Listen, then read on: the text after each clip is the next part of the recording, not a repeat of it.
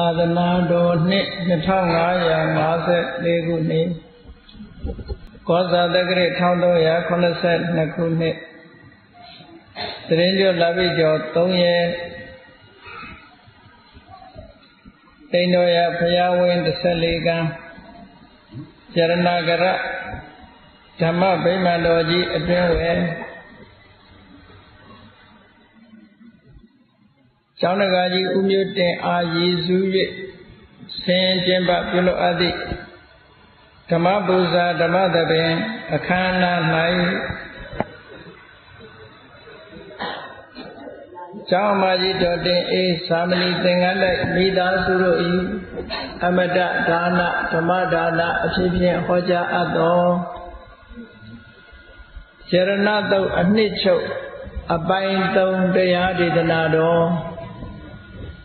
ဒီကနေ့ညတပါးသဘင်ခန္ဓာကိုရှေဘုန်းတော်သခင်ရှင်တော်မြတ်ဘုရား၏မဟာကရုဏာကုံကိုအာယုံပြုကာတိကျုဖတ်ဆိုအပ်သောဝန္ဒနာပနာမအာတိတဂါထာကိုယူဆိုပူဇော်ခြင်းဖြင့်စတင်ကြရအောင်ယောကပကောတိဟိပိယပမေယံကာလံကရွန်တော်တိဒုက္ခရာနိ ခေရံကတောလောကဟိတယာနာထောနမောမဟာကရုဏိကတတတယောနာထောဝိနိယများစွာတတဝါဤချမ်းသာစီးပွားလိုလားတောင်းတဂုံပေါင်းခါသည်ဖြင့်နာထမြညာခြင်းရှင်တော်မြတ်ဖရာသည် ကပ္ပကောတိဟိပိဂရေကဘာအရေးအတွက်သင်္ချာတို့ဖြင့်တော်လဲအဘေမေယံရေတွေ့တိုင်းတာဖော်ပြခြင်းငါမစွမ်းနိုင်ပါသောကာလလေးအသင်ချေသိမ့်နေကဘာရှိကြသောကာလပတ်လုံးလောကဟိတယတတ္တလောကဤအကျိုးစီးပွားအလုံးငါအတိဒုက္ခရာနိဥ္စာတဲ့ချစ်လက်အင်္ဂါ မေတ္တာကြီးမှသမိတာနှင့်တထာဇနီဆွန်ခြင်းကြီးဟုကျက်တိထဝယ်90အစုအလွန်ခဲရင်တော်မူတော့ကိုကရောတော်ဘုရားဖြစ်ရန်ဤတန်ကြိုးကိုအာထုတ်တော်မူရသည်ဖြစ်၍ခေရန်လက်ချေမျက်လုံးအသက်ဆုံးလည်းရဲ့နှလုံးစေဝံကိုရောဤပြမန်းခြင်းတို့ကတောဘဝတဏ္ဍချိန်ပံများစွာရောက်တော်မူခဲ့ရရှာလိပြီမ ဟာကရုဏီကတတတဝါများယင်ဝေတာကဲ့သို့တနာဖြစ်ခင်မဟာကရုဏာရှင်ဖြစ်တော်မူသောတသနာတသောဝိနည်းများစွာတတဝါဤချမ်းသာစီးပွားလိုလားတောင်းတအကုန်ပေါင်းခါသဖြင့်နာထအမြညာထိုရှင်တော်မြတ်ဖရာအားနမောယုတိပြောင်းပြောမှန်ကိုလျော်၍ကရောယုကျိုး ရှိခိုးခြင်းသည်အထုဘဝတုစင်စစ်မသွေဖြစ်ပါစေတည်း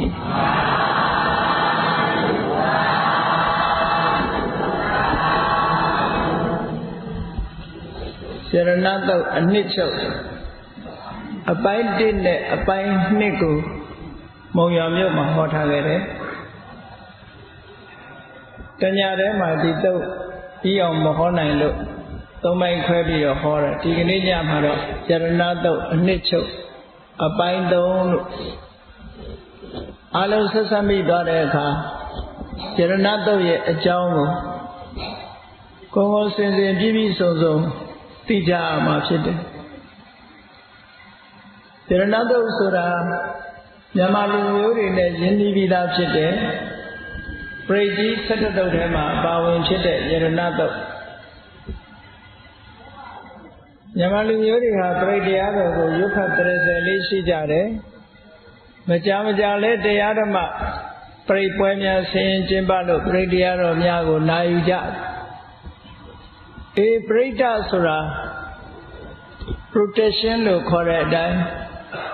ပရိဒဟာအန္တရာယ်တွေကိုကာဝယ်ဆောင်ရှောက်ဖို့ဆိုပြီးတော့အန္တရာယ်ကင်းစေရန်အလို့ငါ မြတ်စွာဘုရားသခင်ကိုရောမြတ်ကိုရောတိုင်းဟောကြားထားခဲ့တာဖြစ်တယ်တခြားဒေသနာတော်တွေနဲ့မတူဘဲနဲ့ပရိဒတ်ဆိုတဲ့ဒေသနာတော်တွေဟာတစ်ဖက်ကနေပြီးတော့အန္တရာယ်ကိုကင်းစေတတ်တယ်လို့တစ်ဖက်ကလိုက်နာကျင့်သုံးမယ်ဆိုလို့ရှိရင်လည်းမဖို့နိဗ္ဗာန်တိုင်အောင်ကောင်းကျိုးချမ်းသာတွေကိုပေးစွမ်းနိုင်တဲ့ဤစနစ်တွေကိုထုတ်ပေါ်ပြီးတော့ဟောထားတာဖြစ်တယ်လောကမှာ အန္တရာယ်ဆိုတာတွေကအမျိုးမျိုးရှိတယ်သဘာဝဘေးရန်အန္တရာယ်တွေရှိတယ်လို့မမျှော်လင့်တဲ့အန္တရာယ်မျိုးတွေကလည်းဖြစ်ပေါ်လာတတ်တယ်အဲဒီလိုမမျှော်လင့်တဲ့အန္တရာယ်တွေဖြစ်ပေါ်လာတဲ့အခါမှာထိုအန္တရာယ်တွေမကြရောက်အောင်ဆိုပြီးတော့မြတ်စွာဘုရားကအကာအကွယ်ဆောင်းလျှောက်သဘောအားဖြင့်ရုပ်ဖတ်တရေစေကိုလိုက်နာကျင့်သုံးဖို့ဆိုပြီးတော့ပြိဋ္ဌအမည်ရှိတဲ့ပါဠိတော်တွေကိုဟောကြားထားတာအလုံးသိကြတဲ့အတိုင်းပဲ မြန်မာနိုင်ငံမှာတော့ပြိဋ္ဌိ17သုတ်ဆိုပြီးတော့အတည်ပြုပြီးအကာအကွယ်ဆောင်းလျှောက်ဖြစ်စေရန်အတွက်ပြိဋ္ဌာတော်တွေကိုဘုရားဘာသာဝင်တွေဟာငယ်စဉ်ကစပြီးတော့ပြိဋ္ဌာတော်တွေကိုသင်ယူကြအဲ့ဒီထဲမှာပြိဋ္ဌိ17သုတ်ထဲမှာတော့မင်္ဂလာသုတ်ဆိုတာတော့တကယ်ကတော့ပြိဋ္ဌမဟုတ်ဘူးပေါ့လိုက်နာကျင့်သုံးမယ်ဆိုရင်ကောင်းကျိုးချမ်းသာတွေဖြစ်စေတတ်လို့ မင်္ဂလာရှိစေဖို့ရည်ရွယ်ချက်နဲ့မင်္ဂလာသုတ်ကိုရှင်းဥစွာဟောတယ်ပြိဋ္ဌဆိုတာကြတော့ဘယ်လိုဆွမ်းအားတွေအသုံးပြုပြီးတော့မြတ်စွာဘုရားကပြိဋ္ဌဆိုတဲ့ဒီတရားကိုဟောတယ်လေဆိုတာပြိဋ္ဌဆိုတဲ့အကာအကွယ်လုပ်တဲ့အခါမှာမြတ်စွာဘုရားကလူတွေရဲ့တဏ္ဍာမှာရှိနိုင်တဲ့ဆွမ်းအားနှစ်ရပ်ကိုအသုံးပြုတယ်အဲ့ဒီဆွမ်းအားနှစ်ရပ်ကဘာလဲလို့ဆိုရင် မေတ္တာနဲ့သစ္စာလို့အန္တရာယ်ကင်းဖို့အတွက်လူတွေအသုံးပြုရမယ်စွန့်ရည်တတ္တိနှမျိုးဟာမေတ္တာနဲ့သစ္စာပဲမေတ္တာဆိုတာယူတွေလူတွေရဲ့နှလုံးသားထဲမှာတည်ဆောက်ကြရမယ်အာရောဒလို့ခေါ်တဲ့သဘာဝတရားတစ်ခုပဲအများရဲ့ကောင်းကျိုးချမ်းသာကိုလိုလားတဲ့မေတ္တာတရားဟာ အမတမစွမ်းအားဖြတ်တယ်မေတ္တာရှိတဲ့နှလုံးသားဟာအတွင်းရန်ဖြစ်တဲ့အမုန်းတရားကိုဖယ်ရှားပြစ်နိုင်ရုံမှမကအပြင်းရန်တွေကိုလည်းကာကွယ်ဆောင်းရှောက်ပေးနိုင်တယ်တဲ့ဒါကြောင့်မို့လို့မေတ္တာတရားပွားများအထုတ်ခြင်းဖြင့်တတ္တဝါတွေမှာဘေးရန်အန္တရာယ်ကကင်းဝေးနိုင်တယ်ဒါကြောင့်မို့မြတ်စွာဘုရားသခင်ကိုရောမြတ်က မေတ္တာကိုအသုံးပြုပြီးတော့အန္တရာယ်ကာကွယ်ဖို့ဆိုပြီးတော့မေတ္တာတုတ်ကိုဟောထားအားလုံးသိကြတဲ့အတိုင်းအဲ့တော့အန္တရာယ်ကင်းရင်ဘာလို့အောင်လဲဆိုရင်မိမိတို့ရဲ့ယင်တဲ့နှလုံးထဲမှာမေတ္တာတရားဖြစ်ပွားအောင်ကြိုးစားပြီးမေတ္တာတရားခိုင်မာအောင်ကြိုးစားဖို့ပဲမေတ္တာဆိုတဲ့တရားဟာ ယန္နှမျိုးကို အကာအကွယ်ပေးနိုင်ယန္နှမျိုးကဘာလဲလို့ဆိုလို့ရှိရင်အတွင်းယံနဲ့အပြင်ယံအတွင်းယံဆိုတာမေတ္တာတရားကိုအသုံးပြုလို့ရှိရင်ဒေါသဆိုတဲ့အတွင်းယံမိမိတဏ္ဍာမှာဖြစ်တဲ့ဒေါသဆိုတဲ့အတွင်းယံမလာနိုင်ဘူးတဲ့လောကလူတွေက အတွင်းယံကိုတစ်ခါတည်းရယံမှမသိဘူးအပြင်ကလာတဲ့အခါမှသာလားယံသူလို့ထင်ကြအပြင်ကလာတဲ့ယံသူကရှောင်တိန်လို့ရတယ်အတွင်းထဲမှာရောက်နေတဲ့ယံသူကရှောင်တိန်လို့ရပါမလားမရဘူးအဲ့တော့အတွင်းယံနဲ့အပြင်ယံဘယ်ယံပူကြောက်เสียကောင်းလဲအေးအတွင်းယံကပူကြောက်เสียကောင်းတဲ့အတွက်ကြောင့် မေတ္တာတရားပွားများအထုတ်ခြင်းဖြင့်မိမိတို့ရဲ့နှလုံးသားထဲမှာဖြစ်ပေါ်နိုင်တဲ့ဒေါသဆိုတဲ့အတွင်းယံကာကွယ်ဆောင်ချက်ပေးတာဖြစ်ပါတယ်အပြင်းယံဆိုတာကဖြစ်ပြီးရှောင်လို့ရတယ်အတွင်းယံဆိုတာကမိမိကိုယ်တိုင်ထိလေးဆောက်ရှောက်မှဖြစ်တယ်။ဒါကြောင့်မို့မေတ္တာတရားပွားများအထုတ်ခြင်းဖြင့်အတွင်းယံငြိမ့်တော့ အတွင်းယံငြိမ့်သွားတဲ့အခါမှာအပြင်းယံလည်းထိုက်တဲ့လျောက်ငြိမ့်သွားနိုင်။ဘာဖြစ်လို့လဲဆိုရင်ကြည့်လေမေတ္တာရှင်ရဲ့နှလုံးသားဟာငြိမ့်အေးသည့်အတွက်ကြောင့်သူရဲ့မျက်နှာဟာလည်းပဲကြည်လင်တယ်ကြည်လင်တော့မြင်မြင်သမျှပုဂ္ဂိုလ်တွေကသူ့ကိုချစ်ခင်ကြတယ်ရန်လုတ်ချင်တဲ့ပုဂ္ဂိုလ်ဟာတောင်မှပဲသူ့ရဲ့မျက်နှာကြည်လင်းနေတာကိုကြည့်ပြီးတော့ ရံမလုံနိုင်တော့တဲ့အနေအထားမျိုးကိုရောက်သွားနိုင်တယ်တဲ့ဒါကြောင့်မို့လို့မေတ္တာဆိုတဲ့တရားဟာအတွင်းဉာဏ်ကိုလည်းကာကွယ်တယ်အပြင်ဉာဏ်ကိုလည်းကာကွယ်တယ်တခါနောက်တစ်ခုကြည့်မယ်ဆိုလို့ရှိရင်ဉာဏ်ဟာနှမျိုးရှိတယ်ဓမ္မဉာဏ်နဲ့ဓမ္မဝေရပုဂ္ဂလဝေရဓမ္မဉာဏ်နဲ့ပုဂ္ဂိုလ်ဉာဏ်လို့နှမျိုးရှိပေါ့ဉာဏ်တွေနှမျိုးထဲမှာ ဓမ္မဉာဏ်ဆိုတာသဘာဝတရားမိမိကိုဆိုးချိုးပေးတတ်တဲ့သဘာဝတရားအဲဆိုးချိုးပေးတတ်တဲ့သဘာဝတရားဆိုတာဘာလဲလို့ဆိုရင်ဒေါသမိမိကိုဆိုးချိုးပေးတဲ့သဘာဝတရားတစ်ခုပဲဘယ်လိုဆိုးချိုးပေးတယ်ဆိုလို့ရှိရင်စဉ်းစားကြည့်လေဒေါသဖြစ်လာတဲ့ပုဂ္ဂိုလ်တရားဟာသူ့ရဲ့စိတ်ဓာတ်ငြိမ်းချမ်းမှုဆုံးရှုံးသွားဘူးလားဆုံးရှုံးသွားတယ်နော် ဒေါသဖြစ်လိုက်တာနဲ့တပြိုင်နက်ငြိမ်းချမ်းတဲ့စိတ်ဓာတ်ဆုံးရှုံးသွားတယ်အေး blood pressure ဖြစ်နေတဲ့ပုဂ္ဂိုလ်တွေဆိုလို့ရှိရင်တော့ဒီစိတ်ဆိုးတာနဲ့ပဲ pressure တက်သွားနိုင်သေးတယ်ပေါ့နှလုံးရောဂါရှိတဲ့ပုဂ္ဂိုလ်ဆိုလို့ရှိရင်လည်းနှလုံးရဲ့ခန္ဓာကြီးစွမ်းအားတွေရောကြသွားပြီးဒုက္ခရောက်သွားနိုင်တာပေါ့အဲ့ဒါလို့ဆိုးကျိုးကိုပေးတယ်ဆိုတာဒါရံမဲ့ပေါ့အဲ့ဒီဓမ္မယံဆိုတဲ့တဘာဝယံကို မေတ္တာဆိုတဲ့တရားကအောင်နိုင်နိုင်ပါတယ်တဲ့ဒါကြောင့်မို့လို့မေတ္တာကိုမြတ်စွာဘုရားကအသုံးပြုပြီးတော့မေတ္တာဟာ protection အန္တရာယ်ကိုကာကွယ်တဲ့နေရာမှာအသုံးပြုတယ်နောက်သစ္စာနဲ့ပတ်သက်လာတဲ့အခါကျတော့လူတွေမှာမှန်တာကိုပြောဖို့ဆိုတာအမှန်တမ်းခဲညာမှန်တာကိုပြောဖို့ရခက်ခဲသည့်အတွက်ကြောင့် သစ္စာတရားဟာအမတမတန်ဖိုးရှိတဲ့စိုက်တတိရှိတဲ့အရာတစ်ခုဖြစ်တယ်လူတွေရဲ့နှုတ်ကမှန်မှန်ကန်ကန်ပြည့်ပြည့်ဝဝပြောနိုင်ပြီဆိုလို့ရှိရင်ထိုမှန်မှန်ကန်ကန်ပြောဆိုမှုသည်စွမ်းအားရှိတဲ့အရာတစ်ခုဖြစ်တယ်ဒါကြောင့်မို့မြတ်စွာဘုရားကသစ္စာကိုအသုံးပြုပြီးတော့လေအနေကအကာအကွယ်ပြုတယ်ဟောပရိจิစတတုတ်ကြည့်မေတ္တာတုံးဆိုတာမေတ္တာကိုအသုံးပြုပြီးတော့အကာအကွယ်ပြုတယ်နောက်ပြီးတော့ ခန္ဓာတုတ်ဟောမေတ္တာကိုအသုံးပြုပြီးတော့အကာအကွယ်ဆောင်းလျှောက်လုပ်တယ်သစ္စာဆိုပြီးတော့အသုံးပြုတာကြတော့အခုပြောတဲ့ယရဏတုတ်တို့ဝတ္တတုတ်တို့အမတ္တမထင်ရှားတယ်ပေါ့မန္နာကိုပြောတာဟာစွန့်ရည်တတ္တိရှိတယ်ဆိုတာဘာဖြစ်လို့စွန့်ရည်တတ္တိရှိရတယ်လဲဆိုမှန်နာပြောတာဟာရှားပါပစ္စည်းတစ်ခုဖြစ် လူတွေရဲ့နှုတ်ထဲမှာမမှန်မကန်ပြောတာတွေကများနေတော့မှန်မှန်ကန်ကန်ပြောတာဟာစွန့်ရည်တတ္တိရှိတယ်လို့ဒီလိုပြောတာနော်စိတ်ဓာတ်တန်ရှင်းကြည်လင်ပြီးတော့မှန်ကန်တဲ့စကားကိုပြောဆိုနိုင်ပြီဆိုရင်ဝစီသစ္စာအဲ့ဒီဝစီသစ္စာဟာ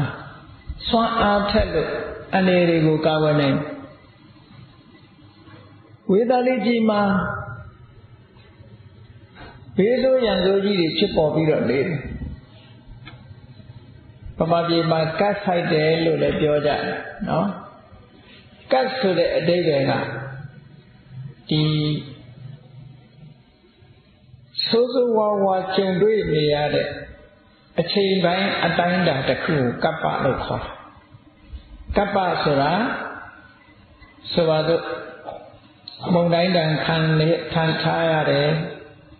ဆိုတဲ့အတိုင်းတာတစ်ခု တဘာဝဘေးရန်အန္တရာယ်ကြီးတစ်ခုကျုံနေတယ်ဆိုတဲ့အတိုင်းတာတစ်ခုနမို့ခေါင်းမမှုဆိုတဲ့ဘေးရန်အန္တရာယ်တွေကျုံနေတဲ့အတိုင်းတာတစ်ခုယောဂဝေဒနာတွေကုဆက်ပြန်ပွားနေတယ်ဆိုတဲ့အတိုင်းတာတစ်ခုကပ္ပလို့ခေါ်တာအဲ့တော့မြတ်စွာဘုရားလက်ထက်တုန်းကဝေသာလီပြည်မှာအဲ့ဒီဘေးဆိုးကတ်ဆိုးကြီးသုံးမျိုးကြုံတွေ့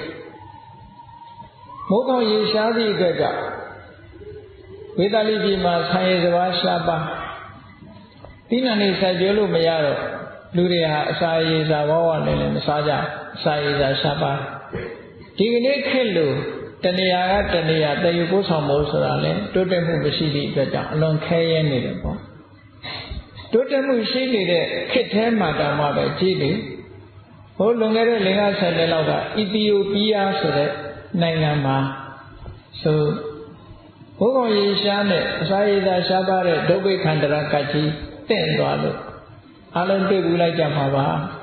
အစာရေစာဝါအောင်မစားရတဲ့လူသားကလေးတွေရဲ့ဒုက္ခတွေ့လိုက်ကြမှာပဲအဲ့ဒါလို့ဒုက္ခခန္ဓရကတ်ဆိုတာ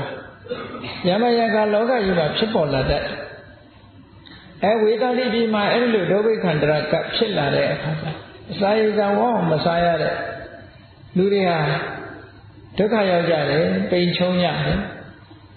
အဲ့ဒါလို့ဒုက္ခရောက်နေတဲ့အချိန်မှာ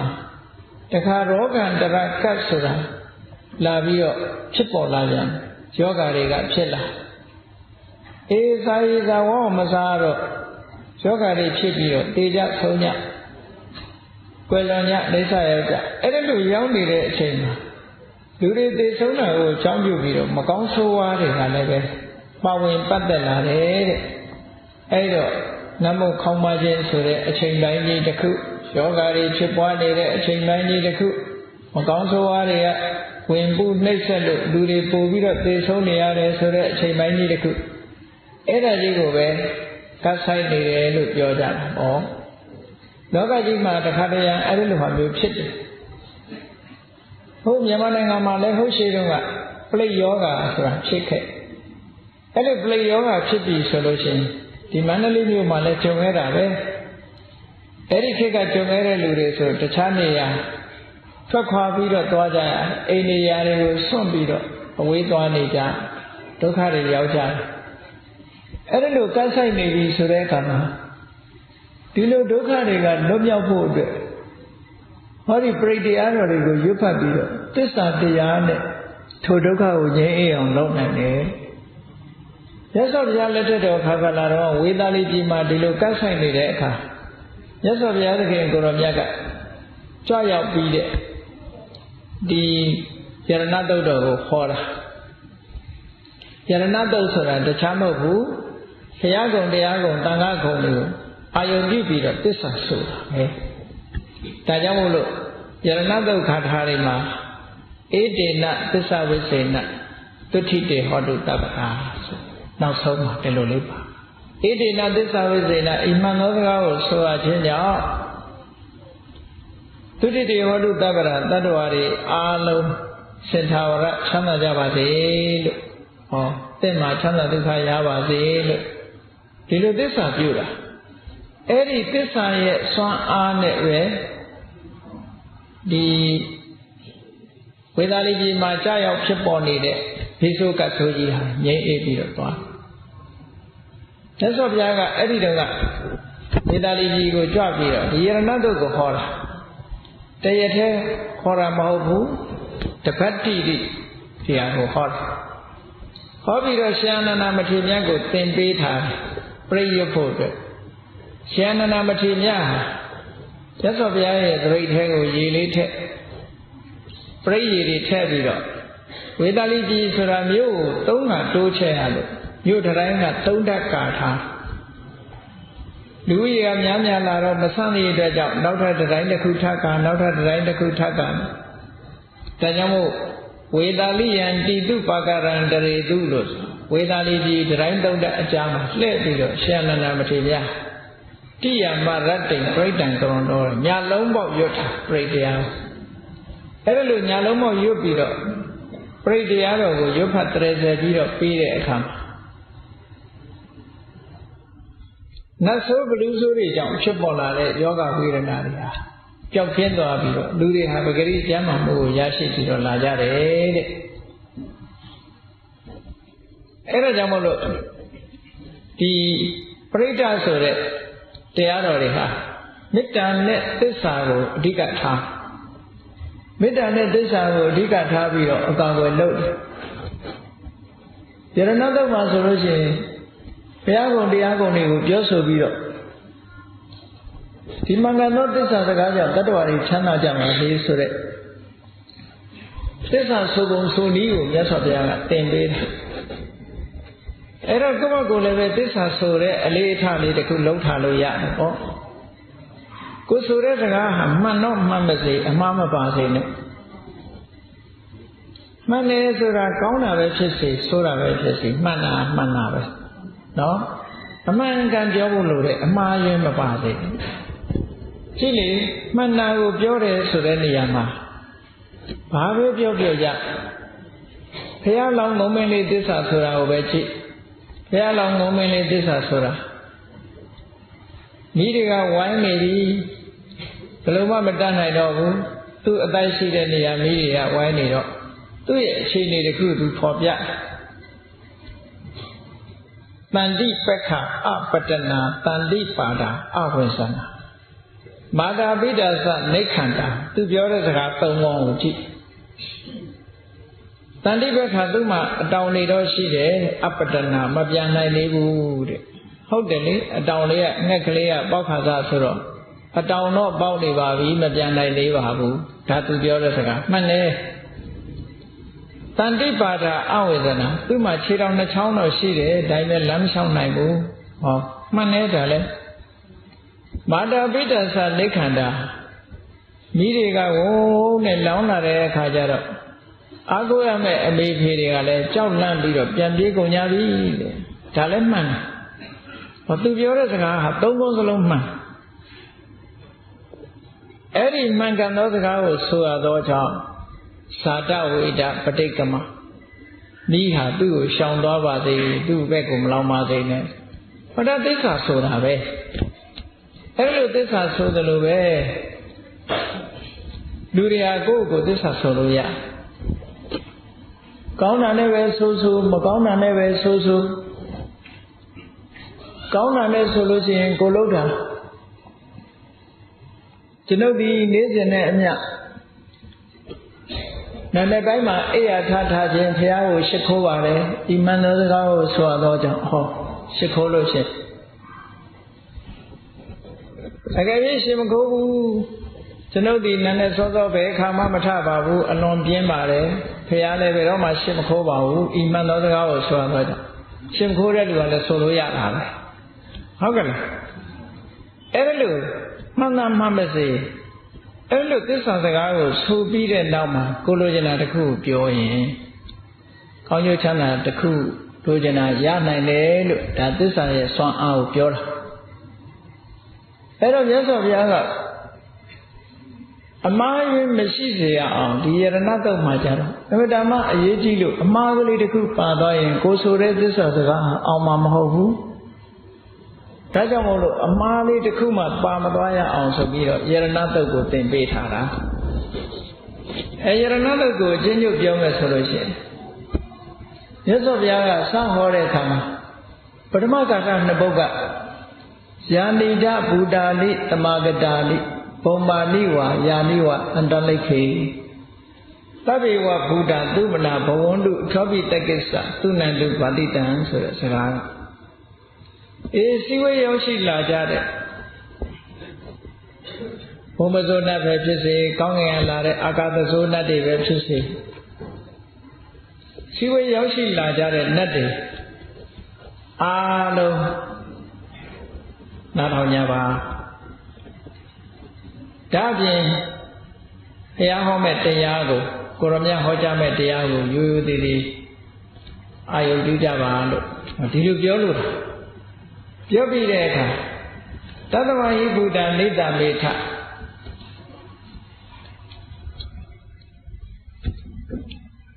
အားလုံးနားဆိုင်ပြီးတော့ထောင်ဒီလိုအဲ့ဒါလို့နားဆိုင်ပြီးတော့ထောင်တဲ့ထောင်ပြီးတဲ့အခါမှာလူတွေပေါ်မှာမေတ္တာထားဖို့ဆိုပြီးတော့ရသော်ကမေတ္တံကရောထမနုတိယပစာရဆိုတဲ့စကားလူသားတွေပေါ်မှာမေတ္တာထားကြပါတဲ့ မေတ္တာလူတွေပေါ်မှာသနာတဲ့စိတ်ဟိုအကျိုးစီးပွားကိုလိုလားတဲ့မေတ္တာစိတ်ထားကြတယ်ဘာဖြစ်လို့လဲဆိုရင်ဒီဝါစရတ္တောစဟရန္တိယေပလေတတ္တမဟိနေရခတအပမန္တလူတွေကနေရောညပါတင်တို့ကိုငပြောလို့အုံလို့နဲ့ ပူဇော်ပြီးတော့အတိမပြုတ်နေကြတယ်ဒါကြောင့်မို့သူတို့ကိုဆောင်းလျှောက်ကြပါဆိုတဲ့တိုက်တွန်းချက်ခါတာနှစ်ပုဒ်ကိုမြတ်စွာဘုရားအရင်ဟောတယ်အဲ့ဒီရင်ဟောပြီးတော့မှဘုရားနဲ့ပတ်သက်ပြီးတော့ဗုဒ္ဓဒိဋ္ဌာနဘုရားကုံကိုအာယုံပြုပြီးတော့သစ္စာဆိုပုံပြတာသုံးတာထားရှိအဲ့ဒီသုံးတာထားထဲမှာ ယံကိစီဝိတံဣဒဝါဟုရံဝါတေကေတုဝါယံရတနံပဏိတံနာသောတမအထိတထာဂတိနဣရံပိဗုဒ္ဓေရတနံပဏိတံဆိုပြီးတော့ပထမဆုံးခါထာကဘုရားရဲ့ခုံတော်ကိုအာယုပြုပြီးတော့သစ္စာဆိုပုံမူပြအဲတရားနဲ့ပတ်သက်ပြီးတော့သစ္စာဆိုပုံပြတာကနှစ်ခါထာရှိတယ် တန်ခါကုံကိုအာယုပြုပြီးတော့သစ္စာဆိုတာရှစ်ခါထာရှိတယ်နောက်ဆုံးမှဏီကုံကျုပ်အနေနဲ့တရားမင်းကြီးကဝင်ပြီးတော့သစ္စာဆိုတာကသုံးခါထာရှိတယ်အလုံးပေါင်းလိုက်တော့ယရဏတုံမှာအဓိကဂါထာ18ခါထာရှိတယ်ပေါ့အဲဒီတည်းမဲ့ယရဏတုံအနှစ်ချုပ်အပိုင်း1အပိုင်း2တို့မှာဘုန်းကြီးတို့ဟောထားပြီးပြီအခု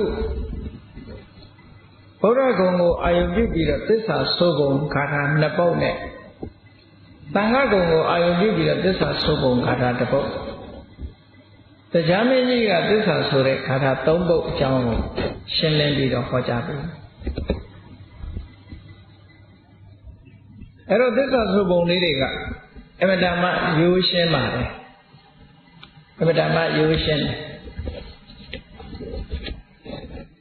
ရသော်ဘုရားနဲ့ပတ်သက်ပြီးသစ္စာဆိုပုံတစ်ခုကဝဏပကုံမေယထာဗုဒ္ဓတက်ခေခိမာနမာတေပထမသမိခိမေတထုပမံဓမ္မဝရံအတိတ်တိနိဗ္ဗာန်ဓမ္မိံပရမံဟိတယဣဒံပိဗုဒ္ဓေရတနံပဏိတံဣတေနသစ္စေနသူအထိဟောတုဒီကထာဟာရသော်ဘုရားခုံကိုအာယုံပြုပြီးတော့ဆိုတဲ့ သစ္စာစကားတစ်ခုဘယ်လိုပဲဆိုဆိုသစ္စာဆိုတယ်ဆိုတာဘုရားကုံကိုသိတဲ့ဘုရားကုံနဲ့လည်းပဲအာယုံပြုပြီးသစ္စာဆိုလို့ရှိတယ်ဒါပေမဲ့ဒါမြတ်စွာဘုရားသင်ပေးပုံကတော့ချိဝဏဘုကုံမေယထာဘုဒ္ဓတက္ကေဂိမာနမသတိပထမသမိခိမေဆိုတာဥပမာလေးနဲ့ပြောတာခိမာနမတိဆိုတာ ຫນွေကာလຫນွေလေးလရှိတယ်တကူးကစုံနေုံဝါဆိုလို့ဆိုတဲ့ຫນွေလေးလရှိတယ်ပေါ့အတိအကျပြောလို့ရှိရင်ဒီတပေါင်းလာပြီးတော့တရက်ကစားပြီးတော့ဝါဆိုလာပြီးနေထီအောင်၄လတော့အဲ့ဒီ၄လအဲ့ဒီလို၄လຫນွေ၄လမှာပထမဆုံးလလို့ဆိုဘယ်လတော့ဆိုလို့ရှိရင်တကူလ တကူလဟာပထမဆုံးຫນွေလအဲ့ဒီပထမဆုံးຫນွေလလို့ဆိုပဲယတိဂုရုမှန်ကန်ပြီးတော့နေတဲ့အချိန်မှာဆိုလို့ရှိရင်တပေါင်းတကူမိုးသားကျူးလို့ဆိုတဲ့အတိုင်းရမယကမိုးတိမ်လေးတွေတက်လာပြီးတော့မိုးရွာတတ်တယ်ပေါ့။နှွေဥရာဒီဖြစ်သည့်အတိုင်းတစ်ပင်မှာတပေါင်းလမှာရွက်ဟောင်းတွေကျွေပြီးတော့ရွက်တစ်တွေဝေးလာလို့ တကူလာရောက်တဲ့အခါမှာတစ်ပင်လေးတွေဟာအဖူးလေးတွေအပွင့်ကလေးတွေနဲ့ဖြစ်လာ။နွယ်ပင်လေးတွေကလည်းပဲအထက်ကိုအညွန့်ကလေးတွေတက်လာ။ဒါကြောင့်မို့အင်္ဂလိပ်လိုကြတော့အဲ့ဒါ spring ရာသီလို့ခေါ်တယ် spring ဆိုတာဗမာတွေက spring spring နဲ့ခေါ်နေတယ် spring ဆိုတာအလုံးသိတဲ့အတိုင်းပဲ spring ဆိုတာခွေခွေလေးအပေါ်တက်လာတယ်ပြောအဲ့ဒီရာသီမှာ အညွန့်ကလေးတွေကဒီလိုတက်လာ၊နှွယ်ကလေးတွေကလည်းကိုယ်ကောက်ပြီးတက်လာလို့ဒါမှမဟုတ် spring ရာသီလို့ခေါ်တယ်၊နှွေဥရာသီလေး။အဲ့ဒီနှွေဥရာသီမှာတောချုံတွေကြည့်လိုက်မယ်ဆိုလို့ရှိရင်တောတစ်ပင်လေးချုံတွေမှာကြည့်လိုက်လို့ရှိရင်အိုးအညွန့်လေးတွေအဖူးလေးတွေနဲ့အမတန်မှလှတယ်။တောတန်းလေးကိုကြည့်လိုက်ရင်အလွန်လှတယ်တဲ့အဖူးတွေအပွင့်တွေနဲ့ ဒီရာဒီဟာအလွန်ကြည့်လို့လှတယ်ပေါ့အဲ့ဒါကိုခွဲ့နှဲ့ထားတဲ့သဘောဝဏပကုံမေယထာဖုတ်တိတက်ခေအဖျားမှာအဖူးလေးတွေအပွင့်လေးတွေနဲ့တောအုပ်ကလေးတွေဥယျာဉ်တွေထဲမှာသို့မဟုတ်တောတန်းထဲမှာအဲ့တကူလာရာသီမှာတစ်ပင်လေးတွေဟာရွက်နုတွေထိုးပြီးတော့အဖူးလေးတွေအပွင့်လေးတွေနဲ့အလွန်လှတယ်တဲ့အလွန်ကြက်တည်ရှိ စုံလင်းနေပေါ့တစ်ပင်ဆိုတာဘာလို့ရှိတယ်ဆိုလို့ရှိရင်အကိုင်းရှိတယ်အရွက်ကလေးတွေရှိတယ်အဖူးလေးတွေရှိတယ်အပွင့်လေးတွေရှိတယ်အတီးကင်းလေးတွေရှိတယ်ဆိုတော့ဟောအမတန်မှတစ်ပင်တစ်ပင်ရဲ့အလှအမတန်မှပြည့်စုံအဲ့ဒီလိုအလှစုံလင်းနေတဲ့တောအုပ်တစ်ခွင်ကတစ်ပင်ကိုကြည့်လိုက်လို့ရှိရင်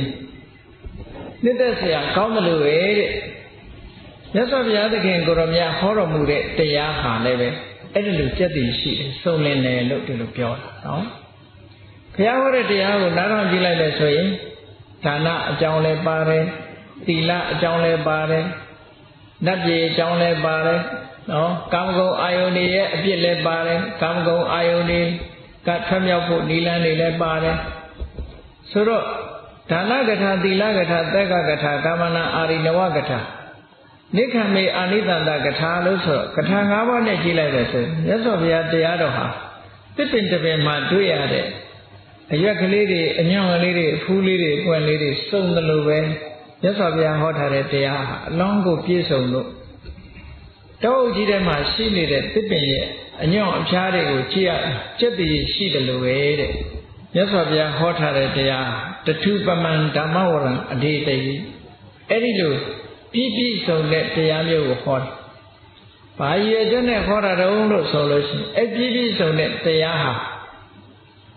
တတ္တဝါတွေအတွက်နိဗ္ဗာန်ထိအောင်ပို့ဆောင်ပေးမဲ့တရားကြီးပဲ။ဘုရားဟောတဲ့တရားဟာဘယ်တော့ပဲဖြစ်ဖြစ်တတ္တဝါတွေကိုနိဗ္ဗာန်ထိအောင်ပို့ဆောင်ပေးနိုင်တဲ့တရားတွေကြီးပဲ။တပည့်စัจ जा တရားဟောလဲနိဗ္ဗာန်ထိအောင်ပို့ဆောင်ပေးနိုင်တာပဲ။အနတ္တလက္ခဏာသုံးဟောလဲနိဗ္ဗာန်ထိအောင်ပို့ဆောင်ပေးနိုင်တာပဲ။ တရားတိုင်းတရားတိုင်းဟာနိဗ္ဗာန်ကိုပို့ဆောင်ပေးနိုင်တဲ့တရားတွေကြီးပဲအဲ့ဒါလို့ဟောတာဟာဘာအတွက်ဟောတာလဲလို့ဆိုရင်မြတ်စွာဘုရားကပရမန်ဟိတယပရမန်ဟိတဆိုတာလူလောကမှာအကောင်းဆုံးအကျိုးစီးပွားဆိုတာဘာလဲဆိုရင်မအိုရဘူးမနာရဘူးမသေးရဘူးအိုခြင်းနာခြင်းသိခြင်းကနေလွတ်ကင်းသွားတဲ့ဆင်းရဲဒုက္ခတွေအလုံးကလွတ်ကင်းသွားတဲ့နိဗ္ဗာန်ဟာပရမဟိတပေါ့ လောကလူတွေကနိဗ္ဗာန်မရမချင်းကောင်းကျိုးချမ်းသာပြည့်ပြည့်ဝရကြမှာမဟုတ်ဘူးနိဗ္ဗာန်ရမှကောင်းကျိုးချမ်းသာတွေပြည့်ပြည့်ဝဝရကြမှာအေးနိဗ္ဗာန်ရောက်ကြောင်းတရားကိုမြတ်စွာဘုရားပြည့်ပြည့်ဝဝစုံစုံလင်လင်ဟောထားတာဟာအလွန်ကြည်နူးပွဲကောင်းပါတယ်လို့အဲ့ဒီလိုတရားမျိုးကိုဟောတတ်တဲ့မြတ်စွာဘုရား အဲ့ဒီမြတ်စွာဘုရားဟာအလုံးကိုနှစ်သက်စရာကောင်းပါလေယရနာတွေထဲမှာနှစ်သက်စရာအကောင်းဆုံးယရနာဖြစ်တယ်ဣဒံတိဗုဒ္ဓေရတနံပဏိတံဒီလိုထူးခြားပြည့်စုံတဲ့တရားကိုဟောနိုင်တဲ့မြတ်စွာဘုရားဟာယရနာတွေထဲမှာအလွန်နှစ်သက်စရာကောင်းတဲ့အချက်တစ်ခုပဲလို့အေးဘုန်းကြီးတို့တွေဟောတဲ့အခါကျတော့မြတ်စွာဘုရားဟောသလိုပြည့်ပြည့်စုံတာမဟုတ်ဘူးဘုရားဟောတဲ့ထဲကနေပြီးတော့ ကိုသိတဲ့လောက်ယူပြီးတော့ဟောကြတာဆိုတော့ဘုရားဟောသလိုပြီးပြီးဆုံးမဖြစ်နိုင်ဘူးမြတ်စွာဘုရားကြတော့ပြီးပြီးဆုံးအောင်ဟောတယ်တဲ့ဘယ်ဘက်ကမှလိုလေလေးမရှိအောင်တရားတစ်ပုဒ်ကိုပြည့်စုံအောင်ဟောသွားတယ်ဒါကြောင့်မို့လို့ဒီလိုပြည့်စုံအောင်ဟောနိုင်တဲ့တရားတွေပိုင်ရှင်ဖြစ်တဲ့မြတ်စွာဘုရားဟာယရနာတွေထဲမှာတော့ထူးခြားတဲ့ယရနာနှစ်သက်စရာအကောင်းဆုံးဖြစ်ပါတယ် ဒီစကားဟာအလွန်မှန်တယ်အဲ့ဒီမှန်သောစကားကိုဆိုသောကြောင့်တတ္တဝါတွေချမ်းသာပါစေဟောဒီလိုသစ္စာဆိုအဲ့ဒါလိုသစ္စာဆိုလိုက်လို့ဝေတာလီပြေကလူတွေဟာကျမ်းမာချမ်းသာမှုကိုရရှိသွားကြတာဒီကနေ့ခေတ်မှာလည်းပဲဒီလိုသစ္စာဆိုမယ်ဆိုလို့ရှိရင်ကျမ်းမာချမ်းသာမှုကိုရနိုင်တာပဲယုံကြည်ကြည်နဲ့သစ္စာဆွမ်းအားကိုအသုံးချကြမယ်ဆိုလို့ရှိရင်ဒီရအန္တရာယ်တွေကလွတ်မြောက်နိုင်တာပဲ ဘာဖြစ်လို့တော့ဆိုတော့မြတ်စွာဘုရားဟောလိုက်တဲ့ဒီတရားတော်ဟာ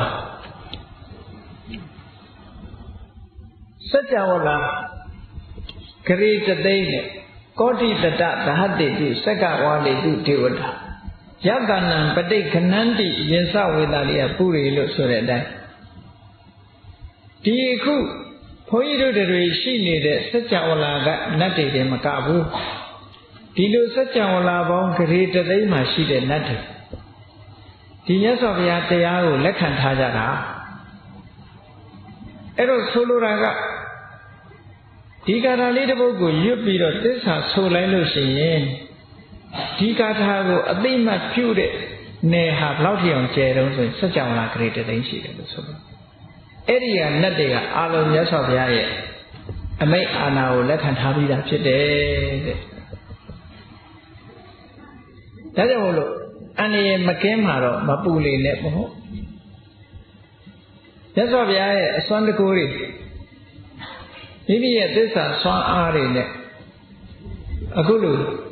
တတ္တဝါတွေချမ်းသာကြပါစေဆိုတာသစ္စာဆိုပြီးတော့ဆုတောင်းလို့ရှိရင်ပြည့်ပြည့်စုံတယ်လို့ဒီလိုအဓိပ္ပာယ်နဲ့ပြောတယ်အဲ့တော့ဒီကထာလေးကိုရွတ်လိုက်တာနဲ့တပြိုင်နက် ကိုယ်စိတ်ထဲမှာအာယုံထားဖို့ရဝဏပကုံးမေးဆိုတာအမတန်လှပတဲ့တောတန်းကြီးခြုံနေတောခြုံကြီးဥယျာဉ်တွေကတစ်ပင်နေယထာဘုဒ္ဓတက်ကြီးအဖျားမှာအဖူးတွေနဲ့အပွင့်တွေနဲ့အညွန့်တွေနဲ့ဝေစားနေတယ်ခိမာနမသိပထမသမိခိမေနွေရာသီမှာပထမဆုံးတကူလာတစ်ပင်တွေဟာအလွန်လှတယ်တဲ့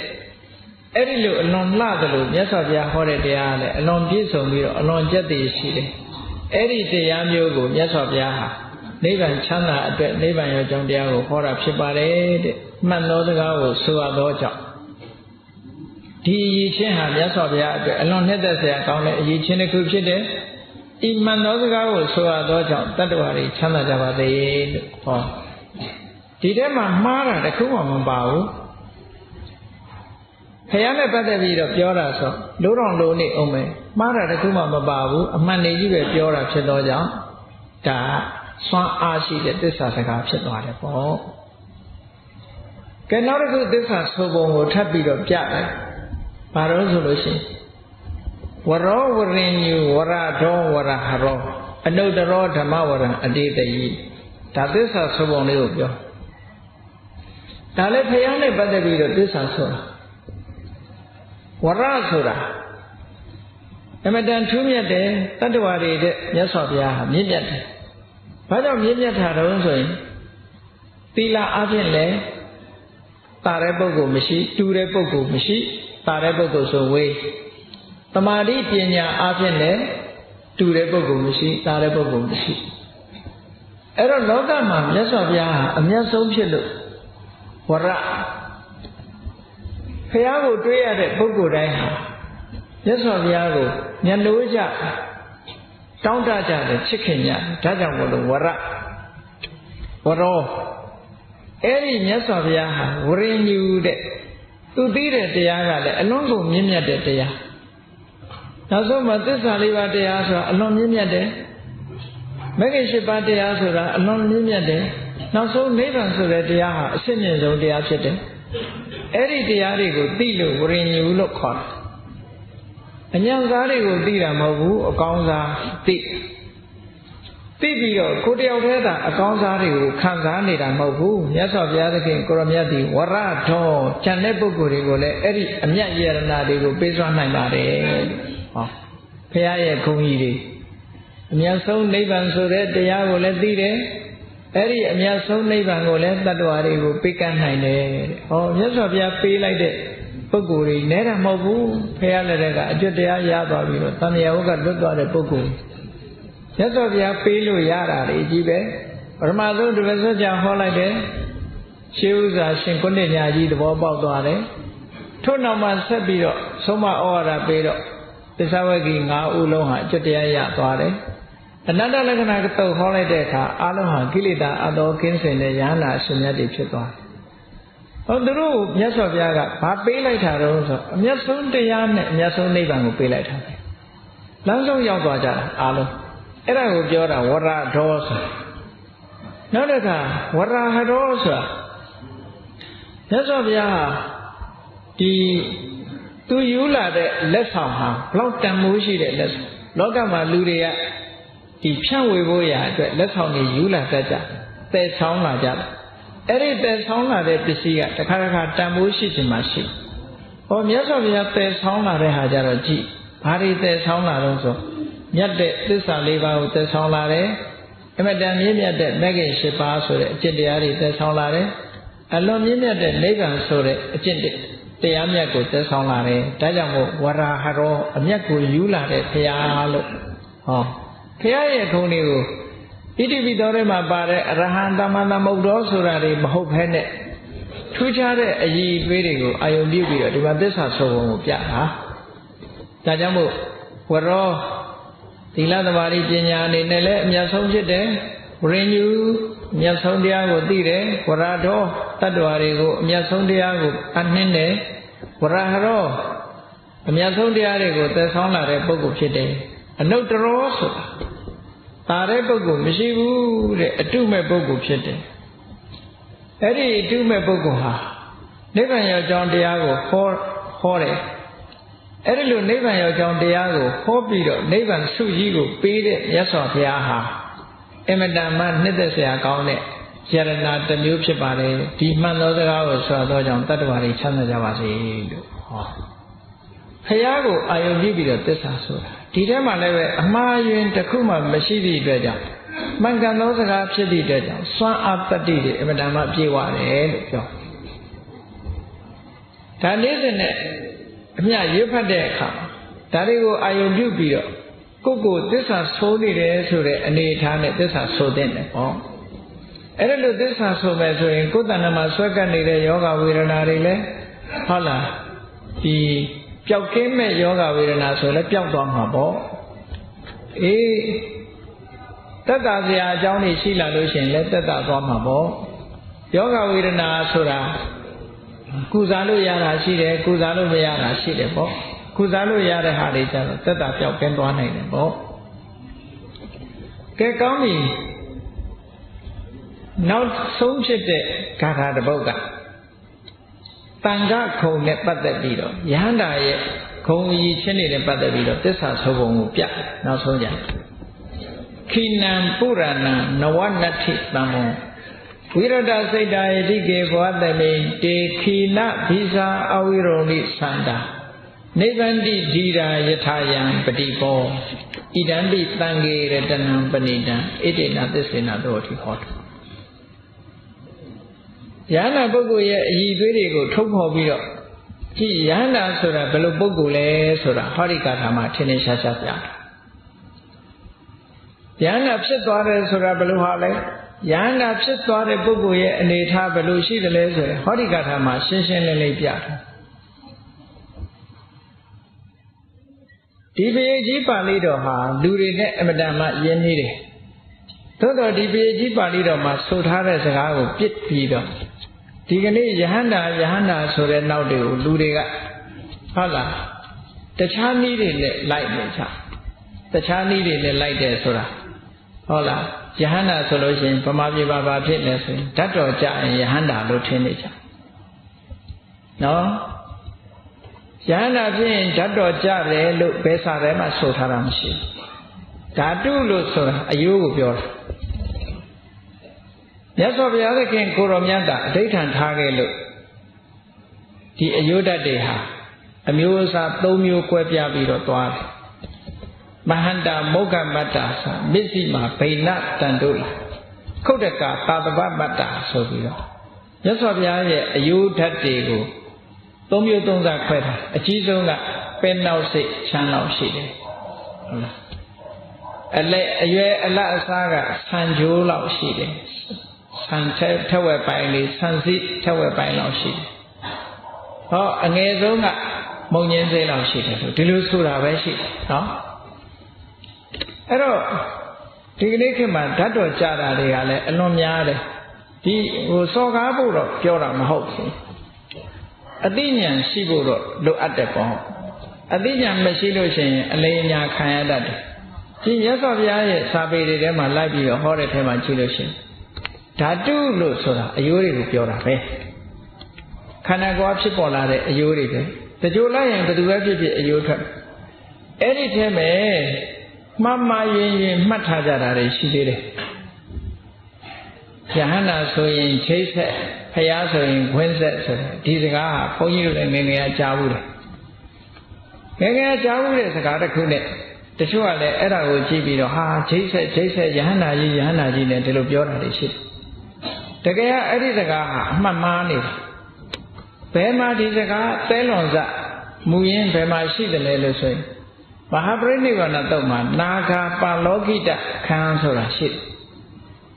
မြတ်စွာဘုရားသခင်ကိုရောမြတ်ကဝေသာလီပြည်ကနေနောက်ဆုံးထွက်ခွာသွားတဲ့အခါမှာဝေသာလီပြည်ကိုပြန်ကြည့်တာပြန်ကြည့်တဲ့အခါမှာဖယားဟာဆက်ကိုနောက်လှည့်ပြီးတော့ကြည့်လို့မရဘူး။တာမန်လူတွေကြည့်သလိုကြည့်လို့မရဘူး။ နာခာပါလောကိတလို့ခေါ်တယ်။ဆင်ကြီးတကောင်ကနောက်ကိုကြည့်ရင်ဒီကိုယ်လုံးလှည့်ရတယ်မဟုတ်လား။ဆင်ဆိုတာဇက်ကတူတူလေးရေလေ။အဲ့တော့နောက်ကိုလှည့်ကြည့်ကြလို့ရတာမဟုတ်ဘူး။အဲ့တော့နာခာပါလောကိတဆင်ကြည့်တယ်လို့ကြည့်တယ်ဆိုတာဆင်ကြီးကဒီကိုယ်လုံးနောက်ပြန်လှည့်လိုက်တယ်။မြတ်စွာဘုရားသခင်ကိုရောမြတ်လည်းဝေဒာလီကြီးကိုနောက်ဆုံးအကြည့်အနေနဲ့ကြည့်တဲ့အခါမှာနောက်ပြန်ပြီးတော့လှည့်ပြီးတော့ကြည်တာ အဲ့ဒီနာဂပါလောကိတအခန်းမှာဖွင့်ဆိုထားတဲ့စကားလေးတစ်ခုရှိတယ်မြတ်စွာဘုရားရဲ့အယိုးဟာတဲ့အယိုးဆက်တွေဟာတာမန်လူတွေလူတိဆက်လည်းမဟုတ်ဘူးတဲ့ပိစိကဗုဒ္ဓတွေလူချိတ်ဆက်လည်းမဟုတ်ဘူးတဲ့တန်ခွင်းတွေလူခွင်းဆက်တွေသာဖြစ်တယ်လို့ဟောဒီလိုဆိုထားအဲ့ဒီစကားမှာ ချိတ်ဆက်ဆိုတာပိစိကဗုဒ္ဓရဲ့အယိုးကိုပြောတာဖယငယ်ကိုပြောတာယဟန္တာမပါဘူးဒီထဲမှာနော်ပိစိကဗုဒ္ဓကိုပြောတာအဲ့တော့ယဟန္တာလို့ဆိုတာဟာဒီတမန်ပုဂ္ဂိုလ်တွေကတိဟိတ်ပုဂ္ဂိုလ်ထူးခြားတဲ့အသိဉာဏ်ရှိတဲ့ပုဂ္ဂိုလ်ကယဟန္တာဖြစ်ဆိုပါစို့ရှိလေဒေဝတတ်တို့လည်းပဲယဟန္တာဖြစ်နိုင်တဲ့အည်သွေးရှိတယ် အသာတတတို့လည်းယဟနာဖြစ်နိုင်တဲ့အည်သွေးတွေရှိတယ်။ဘာဖြစ်လို့သူတို့လည်းတိရိပုဂ္ဂိုလ်တွေပဲ။ဒါကြောင့်မို့လို့ဒေဝဒဟာသံပင်ញင်နေထိအောင်ရတယ်လေ။နောက်ဆုံးမှာမကောင်းတဲ့ပပိဿဆိုတဲ့ရုပ်မာတဲ့အလိုဆိုးရဲ့နှိမ့်ဆက်မှုကြောင့်သူဟာဖះကိုပြစ်မှားပြီးတော့ဒါတွေဟာပျက်စီးသွားတယ်သူ့ဖို့အဇဒတမင်းကြီးကလည်းပဲတကယ်တော့သူ့မှာမဲ့ဖို့နိဗ္ဗာန်ရနိုင်တဲ့အည်သွေးတွေရှိတယ် သို့တော့မှန်မှန်ရင်ရင်နဲ့လက်လွန်သွားတယ်သူ့အဖေကိုတတ်ပြီးတယ်ပိဋကရကကထိုက်သွားအဲ့ဒါကြောင့်မို့လို့ပျက်စီးသွားအခြေအနေတခုကပျက်စီးသွားနိုင်မှာပေါ့အဲ့ဒါလို့ပျက်စီးသွားနိုင်လေတယ်ဒီလိုပုဂ္ဂိုလ်မျိုးတွေအဲ့တော့ယန္တာပုဂ္ဂိုလ်ဆိုတာဒီတာမန်ပုဂ္ဂိုလ်တွေကတာမန်ပုဂ္ဂိုလ်ဆိုတာဟိုအယိုးချိတ်ဆက်တွေခွင်းဆက်တွေပြောတာမဟုတ်ဘူးတာမန်အယိုးတွေဟာတိဆက်ပဲယန္တာပုဂ္ဂိုလ်မှာတိဆက်ပဲရှိတယ် အဲ့ဒီတေးသက်လို့ပုဂ္ဂိုလ်ယဟန္တာအတိကျန်ထူးတဲ့ပုဂ္ဂိုလ်တွေကတရားဓမ္မကျင့်ကြံကြိုးကိုအထောက်လို့ကိလေသာအသောကုံသွားလို့ယဟန္တာဖြစ်တာအဲ့ဒီမှာယဟန္တာယဟန္တာဆိုတာဓာတ်တော်ကြတာကယဟန္တာမဟုတ်ဘူးယဟန္တာလို့ပြောလို့မရဘူးဒါဟာဒီတတိကံပစ္စည်းမဖြစ်နိုင်ဘူးเนาะဒါယဟန္တာတွေကိုဟိုအမှန်သိဖို့ရပြောပြเนาะ အယဟန္တာဖြစ်ခြင်းလည်းဖြစ်မယ်လေဒီလိုတတ်တော်ကြမှာယဟန္တာလို့ဆိုပြီးတော့တချို့ကနေပြီးတော့ထင်ရတယ်ပေါ့အဲ့တော့ကျတော့တကယ်ယဟန္တာကဓာတ်တော်မကြဘူးဆိုရင်သွားပြစ်မှားမိနေအောင်မယ်တော့ဒါကြအဲ့တော့သူကသူယဟန္တာဖြစ်ခြင်းဖြစ်မယ်မဖြစ်ခြင်းမဖြစ်ဘူးသူ့ရဲ့သီလသမာဓိပညာကိုပဲကြည်ညိုရမှာအဲ့ဒါမကြည်ညိုပဲနဲ့ ဟိုအမွေးကြည်ညိုဒီအမွေးကြည်ညိုဟိုအယိုးကြည်ညိုဒီအယိုးကြည်ညိုကတော့ဒါကတော့ဘာဝသိမ့်ကြနော်ဒီကနေ့ခေတ်မှာဓာတ်တော်ကြတာတွေညာလို့လို့ပြောပြတာပါဒါစာရဲပေထဲမှာတိတ်ပြီးတော့ဒါတွေရှိတာမဟုတ်ဘူးဆိုတာမှတ်ထားအဲ့တော့ပိစိကဗုဒ္ဓဟာဂျိတ်ဆက်ဖះကခွင်းဆက်ခြံတဲ့ပုဂ္ဂိုလ်တွေကတာမန်ပဲတိတ်ဆက်ပဲရဟန္တာအပါဝင် ဘုန်းကြီးတို့လည်းငယ်ငယ်တုန်းကကြားဘူးလေအေးဂျိတ်ဆက်ဆိုရင်ရဟန္တာလို့ဒီလိုသွားပြီးတော့ထင်ရတယ်ပေါ့သို့တော့ရဟန္တာလို့ဆိုတာသိဖို့လွယ်လားဆိုမလွယ်ဘူးမလွယ်ဘူးလူတယောက်ယဟန္တာပါပုဂ္ဂိုလ်တူကယဟန္တာပါလို့သိဖို့မလွယ်ဘူးအဲ့တော့မလွယ်သည့်အတွက်ကြောင့်စွတ်လည်းမစွတ်စွတ်နဲ့ကဲလည်းမကဲရဲ့ယဟန္တာဟုတ်မဟုတ်ကိုမသိနိုင် တခါတော့ကမှတ်တမ်းတစ်ခုတောင်ရှိသေးတယ်ယဟန္တာဆိုတာမျက်စိနဲ့မြင်လို့ရတာမဟုတ်ဘူးတဲ့အတိဉာဏ်ကလည်းသူများစိတ်ကိုသိတယ်ပရစိတ်တဝိဇာဏဉာဏ်ရမှဒီပုဂ္ဂိုလ်ဟာယဟန္တာလို့သိနိုင်တာကျန်တဲ့ပုဂ္ဂိုလ်ကသိနိုင်တာမဟုတ်ဘူးအဲ့ဒီမှာတီဟိုချွန်းစိတ်တလတောင်မှာသတင်းသုံးနေတဲ့ယဟန္တာမထေရကြီးနဲ့တောထွက်ဥစဉ်ကြီးတစ်ပါးတို့ရဲ့ဇာလန်းလေးတစ်ခုရှိတယ် တနေ့ကျတော့ဆွမ်းခံသွားတယ်အဲ့ဒီယဟန္တာအရှင်မြတ်ကြီးရဲ့နောက်ကတပည့်ကတောထွက်ဥစဉ်ကြီးတစ်ပါးလမ်းကြတော့သူကမေးတယ်တောထွက်ဥစဉ်ကြီးကအရှင်ဘုရားတဲ့ယဟန္တာယဟန္တာလို့ပြောကြတယ်တဲ့ဘယ်လိုပုဂ္ဂိုလ်ကယဟန္တာတော့ဖျားလို့မေးဘယ်လိုပုဂ္ဂိုလ်မျိုးတော့ယဟန္တာဆိုတာဘယ်လိုပါတော့ဆိုရှေ့ကအမေးခံရတဲ့ပုဂ္ဂိုလ်ကတကယ်ယဟန္တာကြီးပဲသူနဲ့တူတူနေတာ အဲ့တော့ငါယဟန္တာလို့မပြောဘူးဘယ်လိုပြောတော့ဆိုရင်အေးယဟန္တာဆိုတာသိသိရခက်တယ်အဲ့ဒီယဟန္တာနောက်ကနေလိုက်နေတာတော့မှကိုကိုနဲ့တူတူသွားနေတဲ့ပုဂ္ဂိုလ်ယဟန္တာဆိုတာမသိနိုင်ဘူးအဲ့ဒါလောက်ထိအောင်သိရခက်တယ်လို့ဒီလိုဖြေလိုက်အဲ့ဒါလည်းသဘောမပေါက်ဘူးနော်အဲ့ဒါလည်းသဘောမပေါက်ဘူးယဟန္တာဆိုတာသိရခက်ပါတယ်အဲ့ဒါကြောင့်မို့လို့ဘယ်သူမှတော့မပြင်းမာနဲ့ ဘယ်သူမှတော့မပြင်းမာနဲ့သီလသမารီပညာကိုပဲကိုးကွယ်ရတယ်အေးအယိုးတွေကြတယ်ဓာတ်တော်ဆိုရင်ယန္တာဖြစ်တဲ့ပုဂ္ဂိုလ်ကအယိုးမကြဘူးဆိုရင်ဟာဓာတ်တော်မကြဘူးဆိုလို့ရှိရင်ဒါယန္တာမဟုတ်ဘူးလို့သွားပြမမိနေဦးမယ်ပေါ့စာရဲပေထဲမှာဓာတ်တော်ကြတယ်ဆိုတာဘယ်စာထဲမှာမရှိဓာတုဆိုတာအယိုးကိုပြောတာပဲ